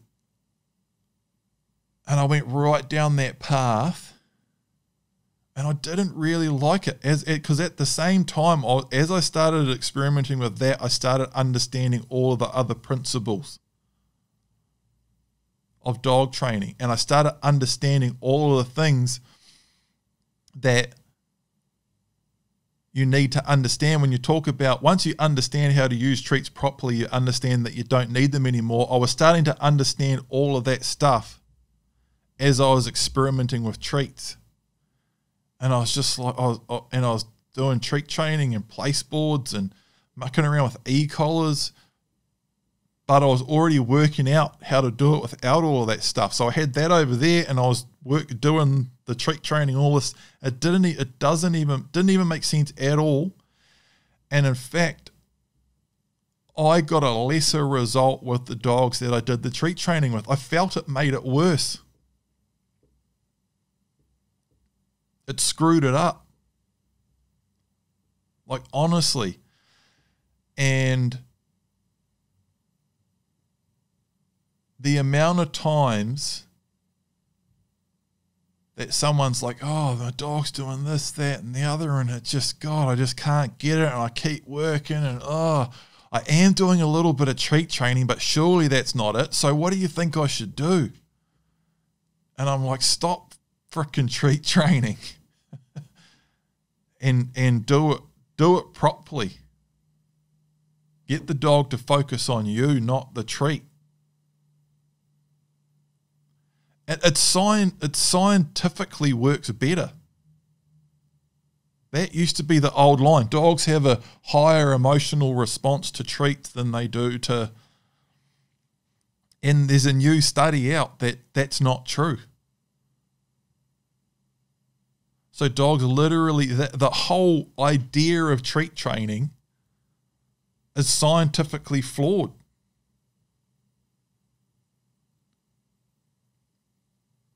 So why are you even doing it? Um, I've, I've spoken about this in Q and A's before and videos in the past, ages ago.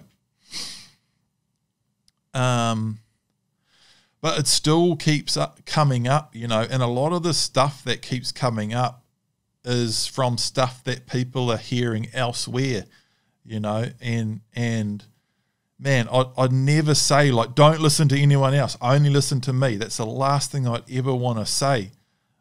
Um, but and that that's why these conversations are so important, you know. Um, and and the long answers and the the big talks and that's why these Q and A's are good because it, it, it allows me to dig. It allows you guys to ask questions and it allows me to go in deep on them and then you can ask questions back based on what I've said, and we can go. We just, you need to talk about this stuff, big time.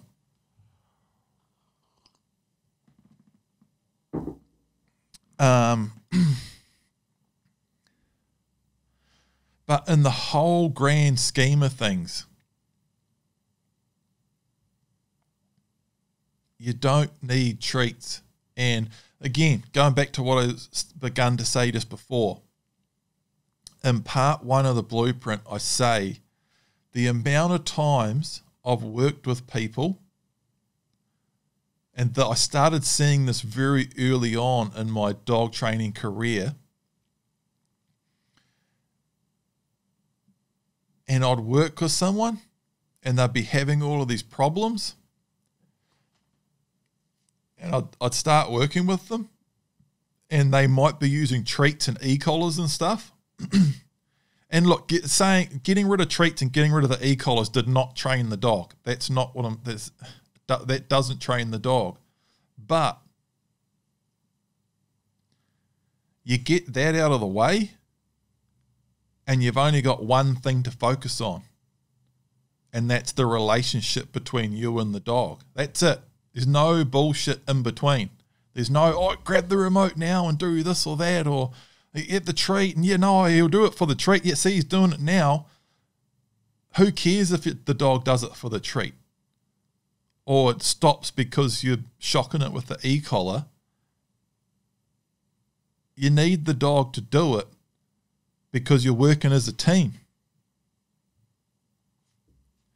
And you need that bond and connection and relationship and control and understanding. Like the treat, it's doing it for the treat. The e collar, it's doing it so it doesn't get a shock. You get rid of the treat and the e collar, and all you've got left is proper management and understanding and dialogue and a relationship and the dog understanding what you want it to do and the dog understanding why what you want it to do is a good idea. You know, and you and the dog working together towards a common goal. And getting the dog to, un- in the case of a hunting dog, getting the dog to understand that you, as much as the dog wants to hunt, which is a lot, which is more than you, you want to hunt as much as the dog wants to hunt as well and and managing everything through to the point where the dog understands that and and The dog has all the tools to do that properly and it understands that that's what you want to do too. So now it wants to do it with you.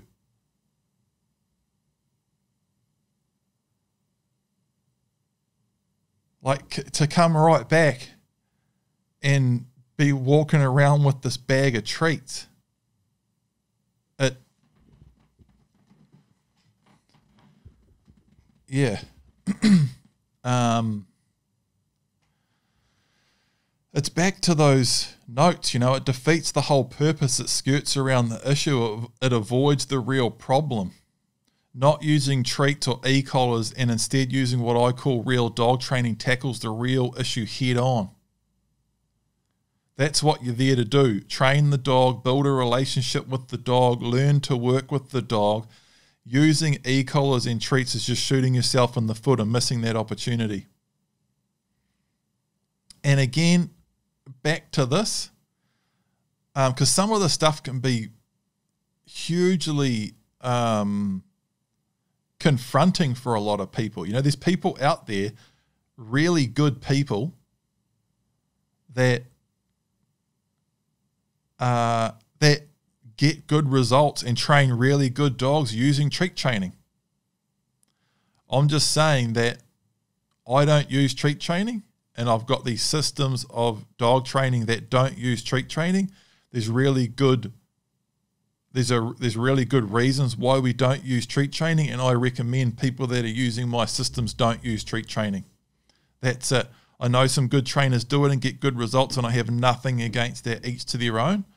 But as far as someone that's following the blueprint that's having trouble with their dog that's using treats, again, like the question before this, this is my answer to it. I don't recommend anyone following the blueprint uses treats, and it's not a small thing, and I'm not flippant about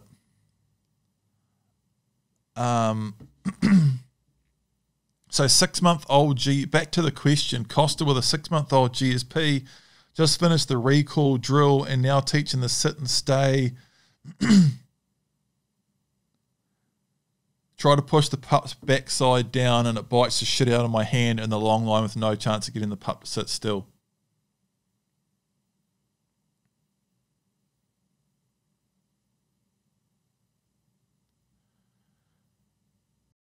Like there's something's wrong there, man. You're saying the only way I can get him to sit and hold a sit or stay for a couple of seconds is with a bit of food. How long have you been using food for? You know, when did you start using the food? Um, you're saying, uh, is there a way to incorporate treat training and slowly come off it, or is it teaching the pup to only obey when there's food in front of it? Is teaching the pup to only obey when there's food in front of it?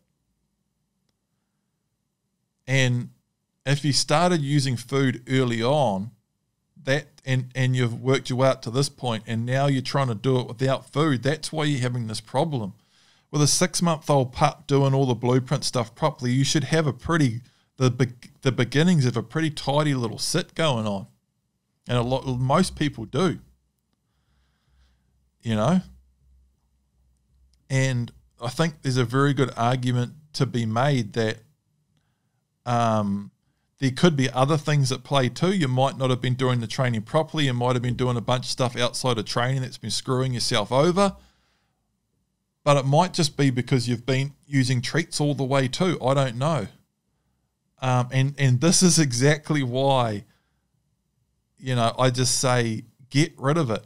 You know, and back to what I say in part one of the Deer Dog Training Blueprint, the amount of times I've had serious, I've, I've worked with people that have had serious issues with the dog. And the sooner we get treats and e collars out of the picture, the sooner we start making progress. Like, I'm not saying it's going to be easy. Like, stop giving the dog treats and it's going to turn into the perfect dog. What I'm saying is, is get rid of the treats and keep training properly and make sure you're doing everything properly and you'll start making progress. But so that's, I think I've covered it. Again, I really encourage people to get back to us on this, on all of these questions. If I've missed something out, if I've interpreted something wrong, incorrectly, if you're still stuck with it, if you're making progress with it, let let me know. Let us know. I'm really open to feedback. Um, and and updates are really good and all of that. Hayden, let's grab a drink.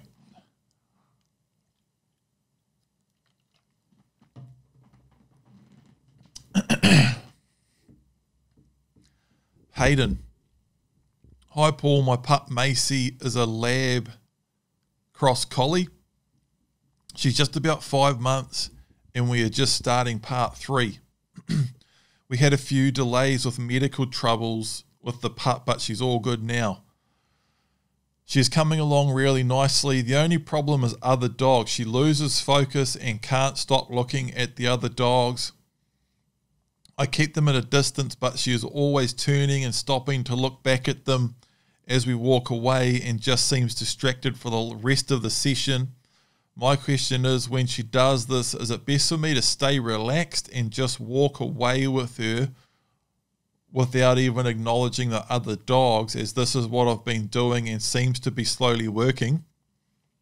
It's a really good example of like an issue where you just stay calm and just be consistent and persistent, and you'll just slowly improve.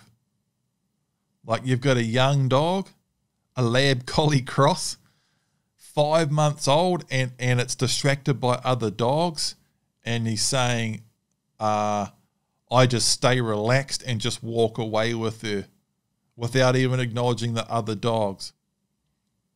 And it's slowly working. And that's that's dog training. That is just rinse and repeat and keep at it. Keep doing it correctly. Stay calm. Rinse, repeat. Consistent, persistent, and you do the right thing. Do everything properly, and it, you, you'll just slowly make progress, little bit by little bit. And months later, you'll be like, "Man, my, she's actually pretty good now."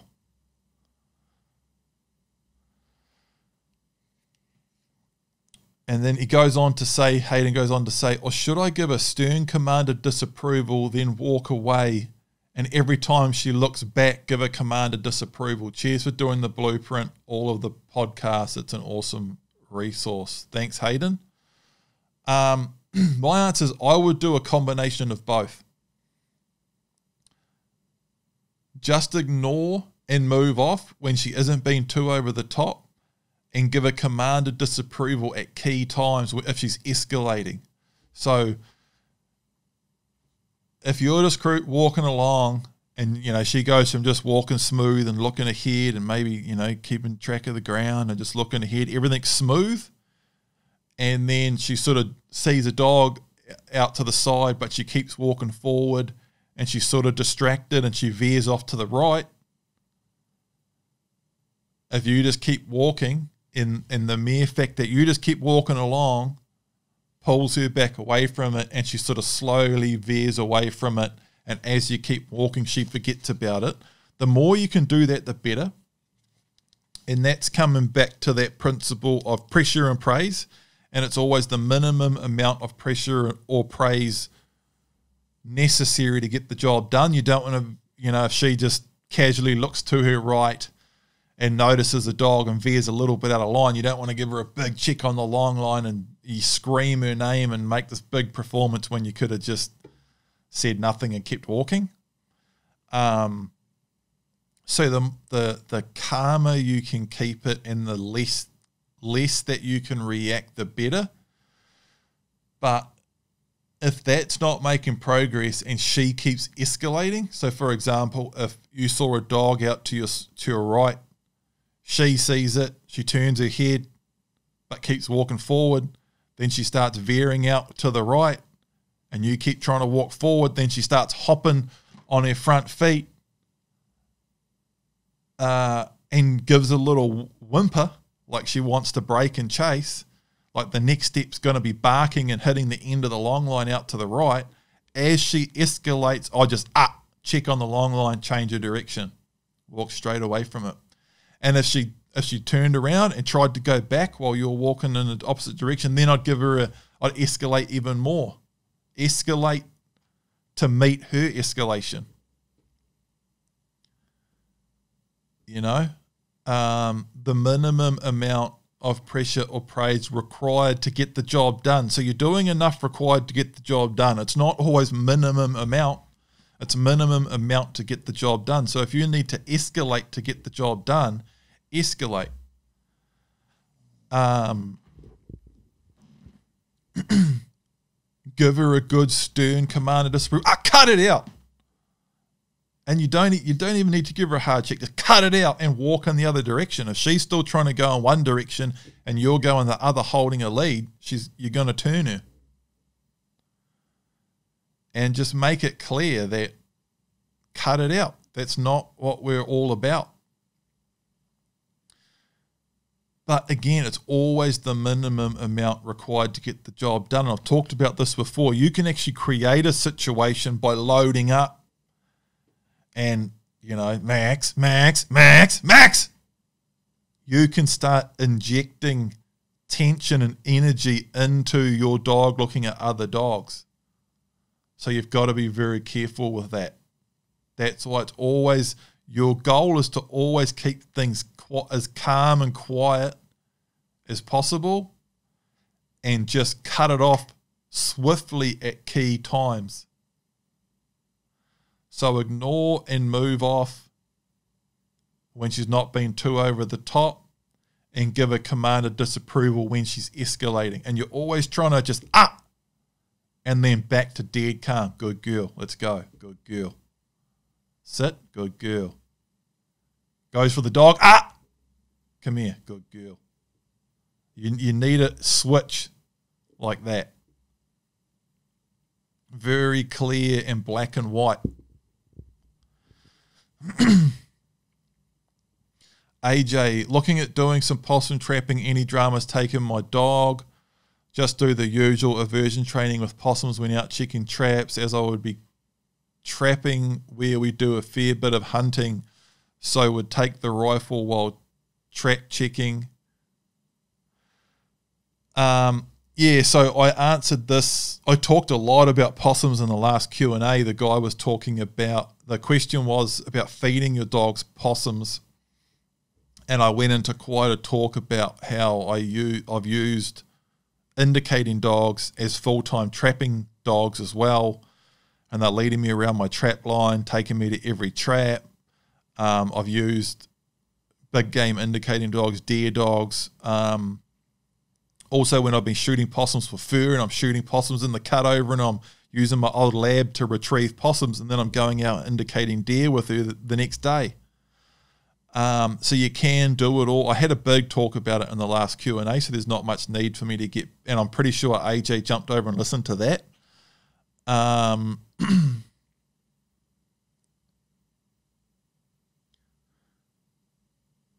my notes on this, like I said, I talked about this a lot in the last Q and A. You should be fine taking the dog. Be careful with the dog standing in traps. Um, long story short, if you do, it's it's all in the last Q and A. So and, and I did quite a talk on it. So I'm not going to go back into all of that, but you 100% can. If if like, I would say if you've got a deer dog that you've done a ton of training with and you're really serious about hunting over and all of that, and you do like four days of trapping possums a year, and it's not important to take the dog, I'd say, yeah, you know what? Just leave the dog behind. Don't why complicate it? But if you're going to be doing a lot of trapping you want to take your dog. It's a pain in the ass leaving it behind. You don't know where to leave it. You haven't got anyone to look after it. You really want to take your dog. You maybe want to shoot a deer before, after, or during trapping. And you're going to be doing a lot of trapping and you want to take your dog, take your dog. It'd be sweet as. If it's all properly trained, you've done your aversion training, just take it. And you'll be fine. And I talked about that's what I went into a big long talk about that I'm not going to go into again is the whole logistics of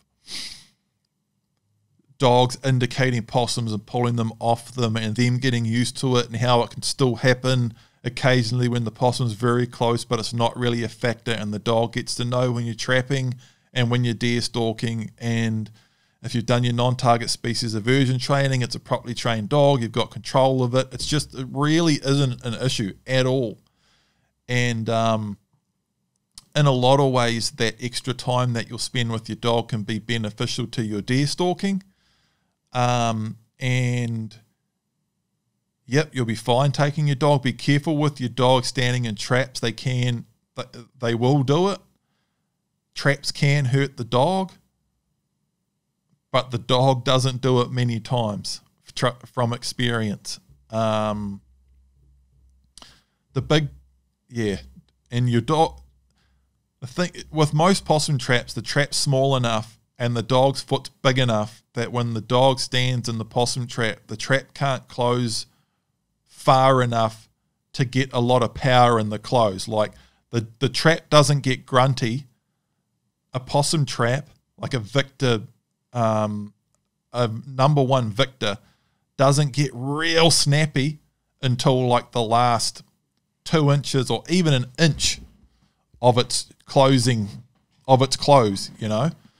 Um, so a dog for I've seen dogs stand in possum traps and just stand in them and give a little yelp, and they just get a fright, and just their reaction of lifting the foot snaps the foot out of the trap, because the trap can't close far enough and it's just like next to nothing. And it's almost not even enough to teach the dog to not do it again. I've also seen it where they've, and this is what can happen, they can close on the dog's foot. And if it just gets like the end of their toe with the dog's first joint in the trap, like so it's the dog's, the end, the dog's end pad, its toe pad is in the trap with just, uh, one or two toes, the trap can get a get a it can get a hard, tight close, and the danger is the dog freaking out and pulling on the trap. That's how the dog will hurt itself and potentially break a toe or something. So you want to be really careful with it. Um, I generally keep the dog in very close or at heel. Um, and I'd be and, and they'd go to stand, you know, if they went to walk near the trap, I'd say, ah, get out of it. And I'd, I'd try to basically teach them aversion training around the trap. But it was, it, I never managed to do that successfully to the point where the dog never stood in a trap. They always ended up standing in a trap eventually. And um, but I was always literally right there and watching them so closely that the second they stood in the trap, I'd be like pouncing on them and grabbing the dog by the scruff of the neck so they can't run and pull and injure their foot and letting them out of the trap. And after that, the dog knew exactly what a trap was and would give them a, a bloody wide berth. And it's funny watching a dog uh, that knows what a possum trap is. and how good at it they get, like walk giving the trap a little berth. Um, another funny story on that was um, I think I've touched on this before somewhere in a Q&A or something about how that there's that principle of one moment can count forever and a dog in a in a marked situation a dog can learn a life lesson in one instance and it can happen good and bad. You know, like a dog chasing and gr- breaking, chasing and killing something, for instance. In some circumstances, that can create an issue that you'll have to deal with for forever. With steadiness, and you'll have to man, and the dog will always have breaking in the back of its mind. It could be a real pain in the ass. You can generally work past it though to a very good point, like I have with Miko. But um, you know, in the case of Print, he's never broken and chased anything. it's not even in the back of his mind. He's not flinching and thinking about chasing because he's never done it. Um, but talking about traps and dogs learning something in an instant, uh, This was with Tessa. I can remember the ridge I was on. I can remember the section of the ridge I was on. um, and it was her first day on a trap line with set traps. I think I'd, I'd taken her in and I'd pre fed a line. I had to build a hut, build a camp for a couple of days. I'd maybe gone for a couple of hunts. I'd pre fed a line and carry traps up. Uh, and I think it was on the very first day setting traps, actually. She stood in her first trap. And I'd been real careful telling her to get out of the way and watch out. And um, and it was it's not too bad when you're setting traps because there's no set traps ahead of you and you're setting them as you go. And I'd sort of nail it to the tree, set it, see where Tessa is, send her out front, and we carry on. and uh, I was kneeling in front of a tree, about half a meter away from the tree. I just set the trap, and and I, I used to carry a um, it was actually an empty Powerade bottle, and I had a string tied around the, like just under the thread of the bottle. Like if you're watching this podcast on video, right there on any bottle, it's got that little ring just under the thread where the cap goes on. Um, that the bottle closes down on, and you can tie a bit of string around that. If you tie a bit of string real tight, I had a bit of string tied real tight around a Powerade bottle like that, and then I had another loop coming off it so I could put my bait bottle on my belt, and then I could just reach down, tip it up into my hand, and and get a little handful of my flour, my flour bait that I used to put scented oils in, and then I put a little pile on each side of the trap and rub a bit up the tree and I've been keeping being careful with Tessa all day, and um, managing the whole thing. It was a real pain in the ass, and um, you know, middle of the day, few several hours into the day, and um, I just set this trap and looked down, and I was pouring the bait into my hand, about to put the bait on, and Tessa had been about two meters out to my left and for some reason she wanted to come back past me right between the tree and me which was right where the trap was. And i looked down and i seen her coming out of the corner of my eye. And just reaction it wasn't a command or anything. I said hey watch out! Right right as i caught her so i just said hey watch out! And as i turned around and said watch out! I caught her and she stood in the trap. It all happened at the same time in about a like probably less than a second. Watch out snap and she's bloody yelping and pulling back, and I pulled her back towards me, and she's struggling like anything, and I had to sort of just get her in this big bear hug with one arm, and and open the trap with the other arm and pull out of it. And after that, she knew exactly what a freaking trap was. I don't think she ever stood in one ever again. Maybe once, one time, like months or years later. But watch out. She knew what watch out meant uh, forever after that. And, and it was maybe it was a tone thing too, and it was a bit of a command of disapproval. But um, after that, and that was the word I used to say, and used to be able to say, watch out. And she'd just be like, it, it was intrinsically linked with her and danger. Um, if you were if you had a gas cooker set up and you were trying to boil the billy and um, on the ground, and Tessa come in like looking like she might knock it over. Something. You say, "Hey, watch out!" and she'd just stop and like lean back, stop moving in the direction she was moving in, and just like back off. Um, it was quite a hard case, but um, but yeah. Long story short, you're fine to take a dog on the trap line. You've got all the non-target species aversion training in the blueprint. Um, should have good control of the dog to stop it like attacking the first possums that it sees. You've got that whole trap thing to contend with. Another one other thing with the traps that I've had um, is that they can the dogs can bite you.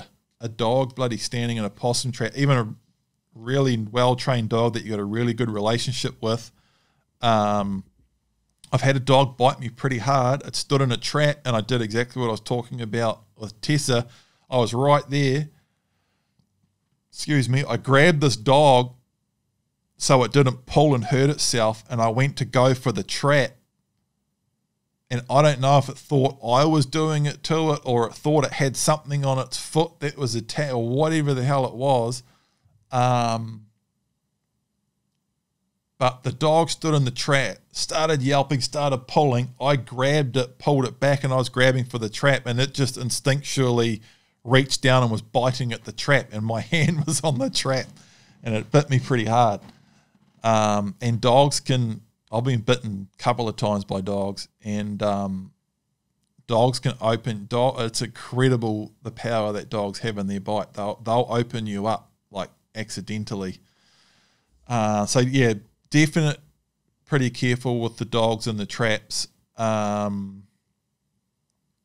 saying about taking the rifle, you can definitely take the rifle with you. And Tessa used to indicate deer off the trap line, and I'd take the rifle and sometimes and go down and shoot the deer on the trap line and hang them up or whatever, and carry meat with me. Or um, I'd usually only take the rifle if it was something like uh, I had a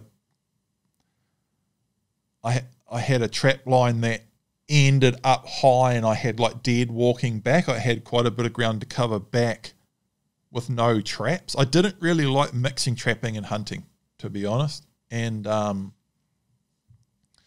if I needed venison, I'd usually, um, you know, do it after trapping, before or after trapping, in between trapping on days off as the trap line started winding down, I'd get back to camp a little bit early and go for evening hunts. Occasionally, if there was somewhere on my trap line, like um, if the possums were eating the, if, if the pigs were getting into the dead possums and there's pigs all over my line, I'd carry the rifle and try to shoot one of them. Or if there was a really good spot, like a head gut up high on my trap line with deer, I'd take the gun. But it was always a pain in the ass carrying the gun while trying to do traps and then trying to hunt in the middle of a trap line and then you had to carry the meat back with you and it just I always just got to the point where um, I just hunt outside of trapping and it was always annoying too because you carry your rifle all day doing the trap line which was a pain in the ass because you had to um, carry possums and do traps and carrying a rifle was just a mega pain in the ass and you do that and almost never see anything, the old Murphy's Law, and then the next day you'd leave the rifle behind and there'd just be deer and pigs. You'd see a deer just standing there looking at you, thinking like, "Where were you yesterday?" You know. But just that's just um, like Murphy's Law, you know. Um, AJ goes on to say, "How PS? How's the knee going? I had my surgery five months ago. Five months after surgery and rehab, and knee feels mint." Knee was ready after three months. Stoked to hear your knee's better, AJ. Um, my knee's better. I've been working on it a lot. Um, I didn't get the cortisone shot. Um, and I've just been basically researching it and working out exactly what this freaking thing is. It's the it's ilio tibial band syndrome. Um, Google that iliotibial band syndrome. They call it runner's syndrome, runner's knee. Um, it's basically an inflamed, tight iliotibial band um, rubbing on the outside of my knee. And it's been strange actually, and it's been interesting. I had a similar journey back in the day with my back um, when I had back problems that got really bad, and I was going to doctors and physios and specialists and surgeons, and everyone had a different idea of what to do about it. And the eventual, how I eventually started making progress with it was without was quite different to what any one of those doctors and physios and surgeons and everyone think said. I ultimately ended up fixing my back by like doing deadlifts and squats and exercising and stretches. Um, which physio was telling me to do exercises and stretches, but not the right ones. It was quite a different path that ended up actually fixing it. But uh, maybe I must have just had the wrong physio. You know, I'm sure there's plenty of professionals out there that could have helped me with it. Um, I just didn't bump into the right people at the right time. But um, and it's been interesting following the crumb trail on this iliotibial band syndrome because early on I had doctors and physios saying um, do these stretches and do rolling on it. So use rollers, use a foam roller, you know, and roll out that whole side of my leg and my knee, do all of the stuff. And then I found equally qualified people saying don't use a roller on iliotibial band, it makes it worse. And I'm like, shit. I've got one professional telling me to roll it, another one saying, no, nah, don't do that, it makes it worse. I had some people saying rest it, very important to rest an iliotibial band syndrome. Other people saying you've got iliotibial band syndrome because you haven't done enough exercise, so you need to make it stronger, but don't do too much. So there's been all, all of the stuff, a lot of contradictory stuff, and um, yeah, it's been quite the journey. Um,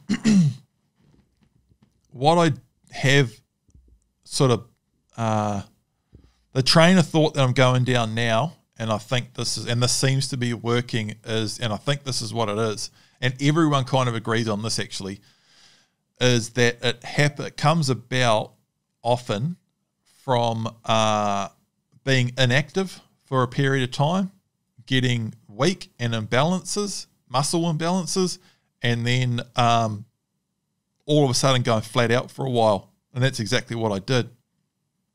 And um, for a while, I didn't quite know what part I had to strengthen or what I had to work on and stuff like that. But um, very roughly, it seems to be that, and why it's called runner's syndrome and why it seems to be uh, an overuse thing but then there's also the connection with the overuse, then underuse, then overuse again. That's actually what it is. Because if you do a lot of walking or running, which I've done a lot of walking, and my legs are, and particularly in my legs have always been strong from the amount of walking that I've done. So I've got these strong, tight tendons that are probably pretty beefy, and that iliotibial band on me is probably pretty strong and tight um, and quite well developed. And if you stop, which is what I, I have done, particularly over the last few years, I haven't been doing as much hunting. I've been doing a lot of this sort of stuff, sitting around talking for ages, a lot of writing, a lot of sitting and screen time, living in town, not doing as much hunting, and then COVID and lockdown, and it just sort of went from bad to worse like activity wise. And I was get I was slack with um I've been I'm way I'm into it now, but I went through a period before I injured my knee where I was pretty slack on my fitness. Real slack actually, and my my plan was, and it's a stupid freaking plan. Um, and it's ultimately how I injured my knee. Was I went well when I do start hunting again, I'm going to do so much hunting, it's not going to matter. So I just went like buttoned off on the fitness and thought I'm gonna uh, I'm gonna get fit hunting. So I, I planned to do a lot of hunting. When I injured my knee few months ago, I was going to start hunting and do heaps. Um, and hunting gets you fit, you know. And I was carrying a few extra kilos. I knew my cardio wasn't that good. I knew I wasn't that fit. I've done and and I've done that there's two or three times in my life that I've done that markedly, where through work and not hunting as a job and few other things. Um, I haven't done much hunting. I haven't done much fitness. I've got pretty out of shape and I've got a little bit overweight. And then I've hit a period where I do a heap of hunting again and I lose all the weight and I get really fit and I get really strong again just through hunting. Um, and that was, and I've done that a couple of times when I've lost, Well, back in the day, at one point, I was over 100 kilos and pretty unfit. This is going way back, like early 2000s. Um, it was 2009 when I started full time. Well, I was already full time trapping in the Kaimais and on farm edges and riding motorbikes around and walking around paddocks and stuff and doing a bit of hunting, um, riding dirt bikes a lot. Then in 09, uh, I started doing it full time in the Ureweras, which is no motorbikes, no paddocks, all on the foot. And I started doing a lot of Ks, but it sort of worked up to it. But I got after, and then I did ended up doing several seasons of that really full on, a lot of it for a few years. I got down to 87 kilos at one point, and I'm six foot five or six foot six. Um, I was like, I like I was freaking people out. I was getting out of the bush and people were looking at me just like, you look like you've had cancer or something. I, I, I was real light. Um, and now I'm right back up to, I was up to 110, actually like 112, 114 kilos. So that's a big difference, man. Um, I'm back down to about 105 at the moment. I need to lose another five or even 10. Um, but back to the knee, what happened was doing a lot of sitting. So I've got these legs that have done a lot of walking and running. They're pretty well, they're de- quite developed. They have been really strong in the past. I've got big, tight, ten- that iliotibial band has had a lot of work in its life, so it's quite meaty and tight.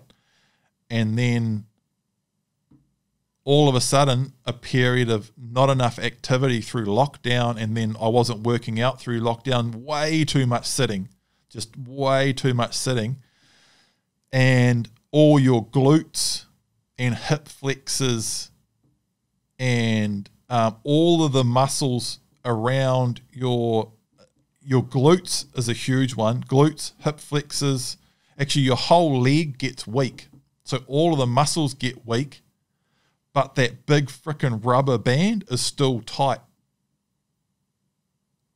And so it's a big imbalance, and um, things just aren't running right, you know? So, um, and there's a lot of stuff on that. Basically, iliotibial band issues through having weak glutes is a big one.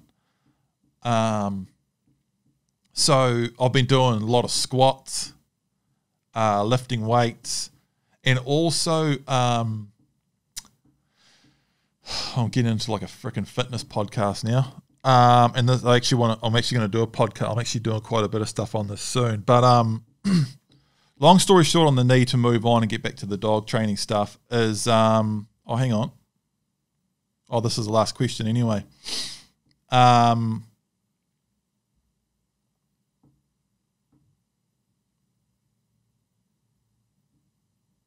I've got to build up, I've got to slowly build up strength. I went from being really fit and strong to doing nothing. So my muscles got weak, but I still had big, grunty, tight tendons. And so imagine having this big, grunty, tight tendon, but now all the muscles are around it are weak. And so you've got this big, tight tendon like dominating the my my leg, but the muscles aren't strong enough to keep everything aligned and pulling the right way. One video that I watched um, with a really really like knowledgeable fitness professional guy said that the iliotibial band is a big band that connects down on the outside of your knee and it comes up and runs up your thigh, this the outside of your thigh, right up and hooks up into the top of your hips and on the outside of your hip. But the, your whole glute comes around and joins into the into that band, and the and the so the glute pulls it from a different angle. So so the glute changes the angle of pull on your iliotibial band. The way this guy explained it uh, was really good. And then I found two or three guys. Once I found like the crumb trail of that school of thought on the iliotibial band, I went down that and I found several guys explaining it, like uh, strength and conditioning guys from the states. I found these two guys that were like doctors and physios that had a really good YouTube channel talking about it. And that's what made. As soon as I start, found out that idea on it, I was like, that's what it is. And they're talking about how it's often when you've been fit and strong, so your iliotibial band is r- really tight and strong, and then you've um, had a long period of inactivity, you've done too much sitting, which makes your glute weak. And then you go out and start to walk on it, and the angle of pull is messed up on your iliotibial band because when your glute's strong, your glute's doing a lot of the work in the walking, and your iliotibial band's trying to pull straight up and down, but when but the glute comes around and connects into the iliotibial band, when the glute's working correctly and is strong enough, that's pulling the iliotibial the top half of it like back towards your your ass basically. Um and when the glute's weak, it's not doing that, and the the the the direction of pull on the iliotibial band is straight up, and it sort of it screws up. It's all dysfunctional, and that's when it starts rubbing on the outside of the knee and screwing up. So um, that's sort of the theory behind it, but uh, and I think it's just an overall strength and conditioning um, thing.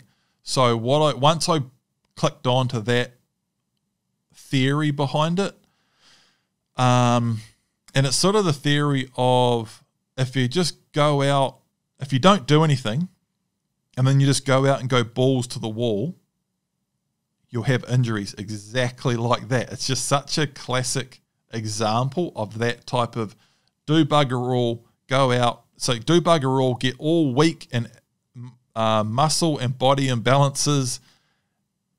Your body's all dysfunctional and crooked and not working right, and then you go out and work, go flat out, and you just break something.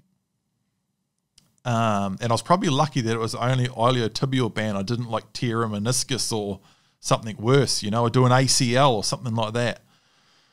Um, and there's actually a it's called the envelope. Envelope is something I've got. I haven't even got notes on this, but I've got to do a proper podcast on this. Um, but it's basically the idea that the inverse, the something envelope. It's like a whole theory that this guy come up with, like some doctor fitness guy, that wherever you're at, if you do less than a certain point, you'll have health issues. And if you do more than a certain point, you'll have health issues.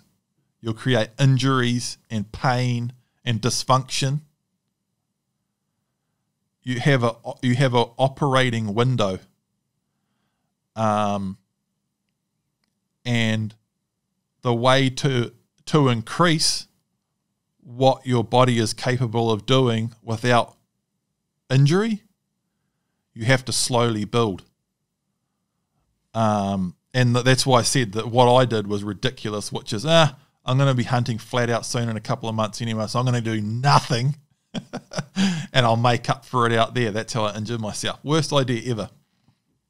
In hindsight, I don't even know how I come up with how I got to that. It's just laziness and silliness, you know.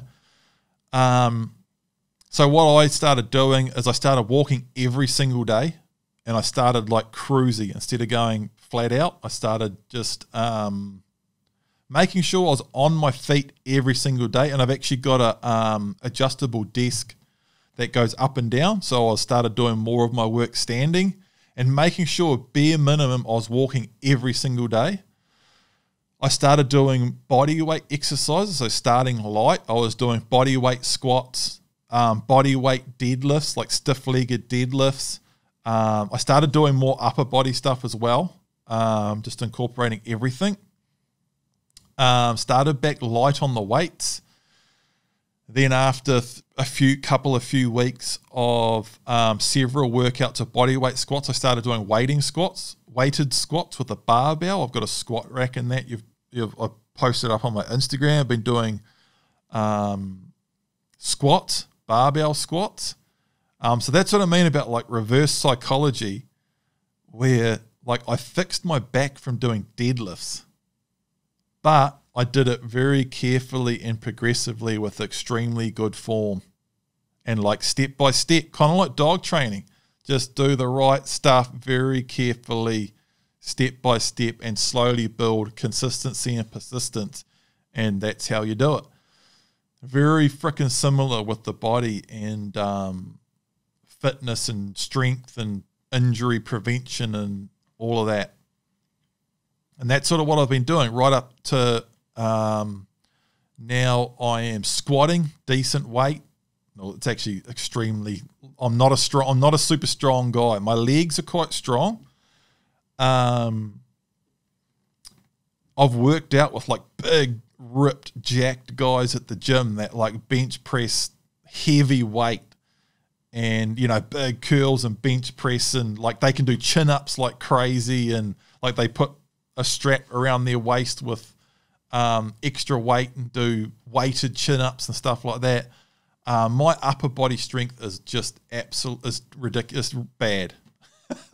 uh, my upper body strength is not great for my size and all of that. Um, that. That's what I'm working on now. Actually, I've been nerding out on fitness, um, and I'm doing. I've gone from sort of um, doing.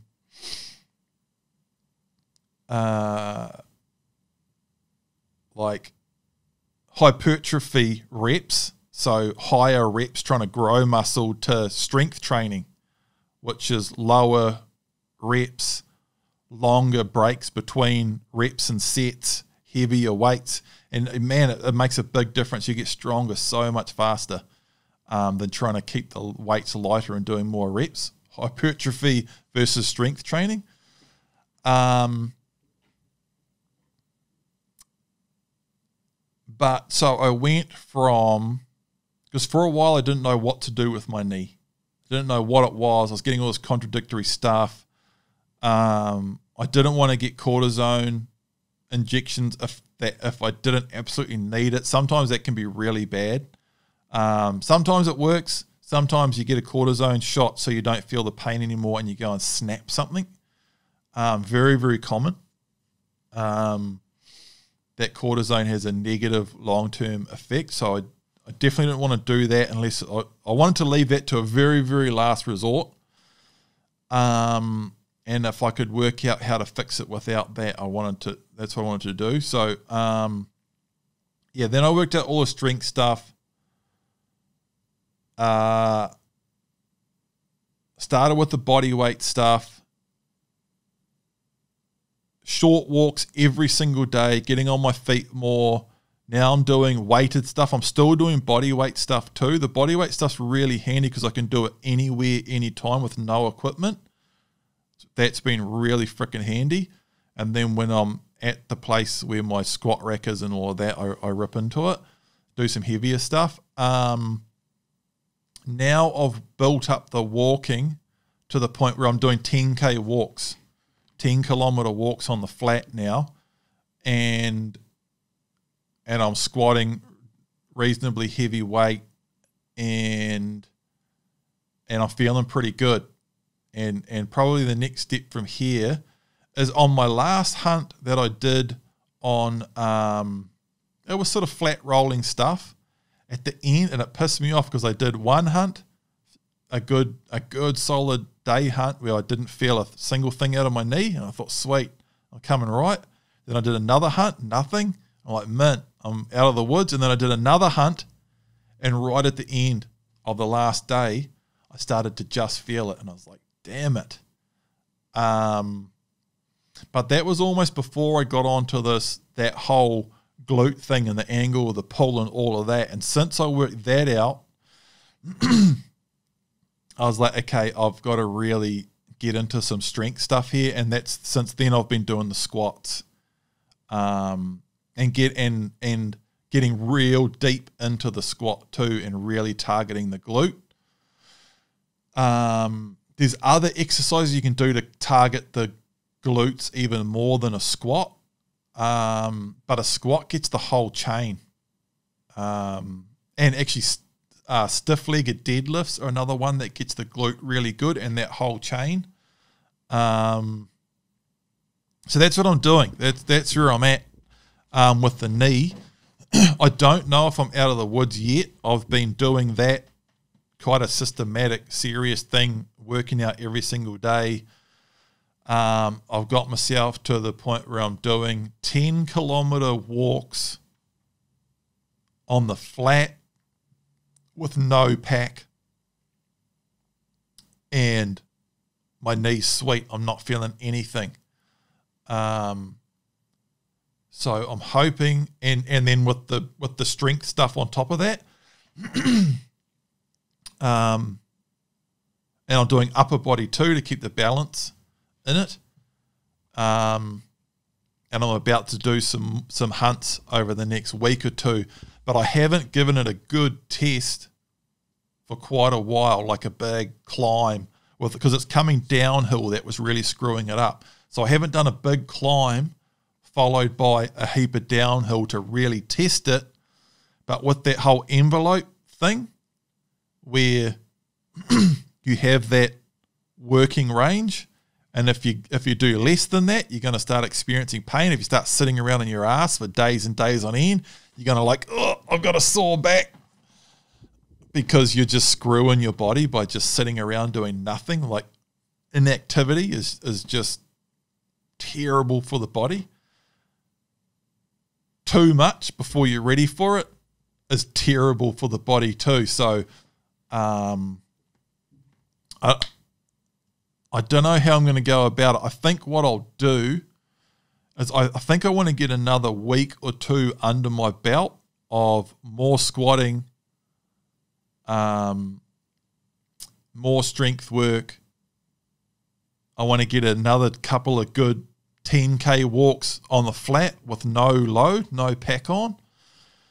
Um, just to strength, just to be sure, strengthen everything up. Um, I've got a couple of spots that I can do some pretty solid hunts on the flat. So I'll do that. Uh, do a good two or three days of that and just mix a little bit of up and down and I can do just enough to test it out. But I don't actually want to the goal is is to not push it to the point where I'm at the end of the last day like, ah nah, my knee's just starting to hurt coming down this last hill. Because that's sort of you've pushed it to the point where you you're screwing it up again. So that whole envelope thing, I've got to Google that and um, let's see if I can pull it up right now. They use it in a lot of things. It's sort of like a scientific theory. Um,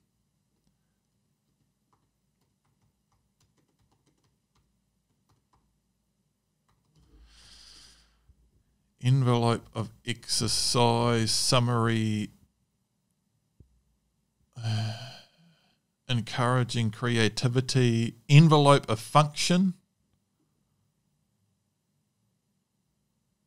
in this video we will um, yeah overload injuries explained envelope of function um,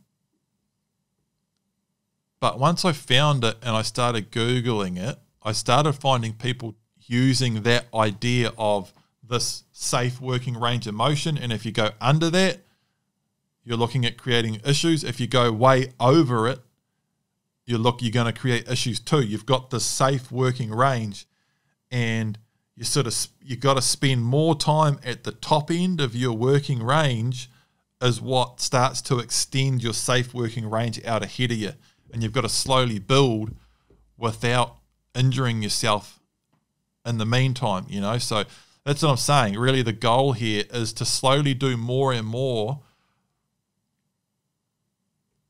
without uh, basically without experiencing pain. If I push it to the point where I'm hurting my knee, I've got to the point of detriment. Um, I've got to try and do more and more without injuring it. Um, the dental envelope of function, the envelope of function, musculoskeletal key. Yeah, here it is. Oh, that was actually it there. That was Dye's envelope of function.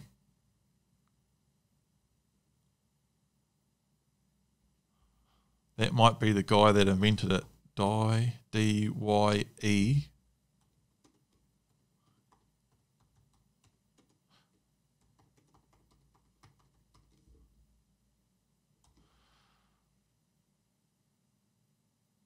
Dye coined the term envelope of function, a combination of magnitude and frequency of load causes loss of homeostasis. I don't even know what homeostasis means.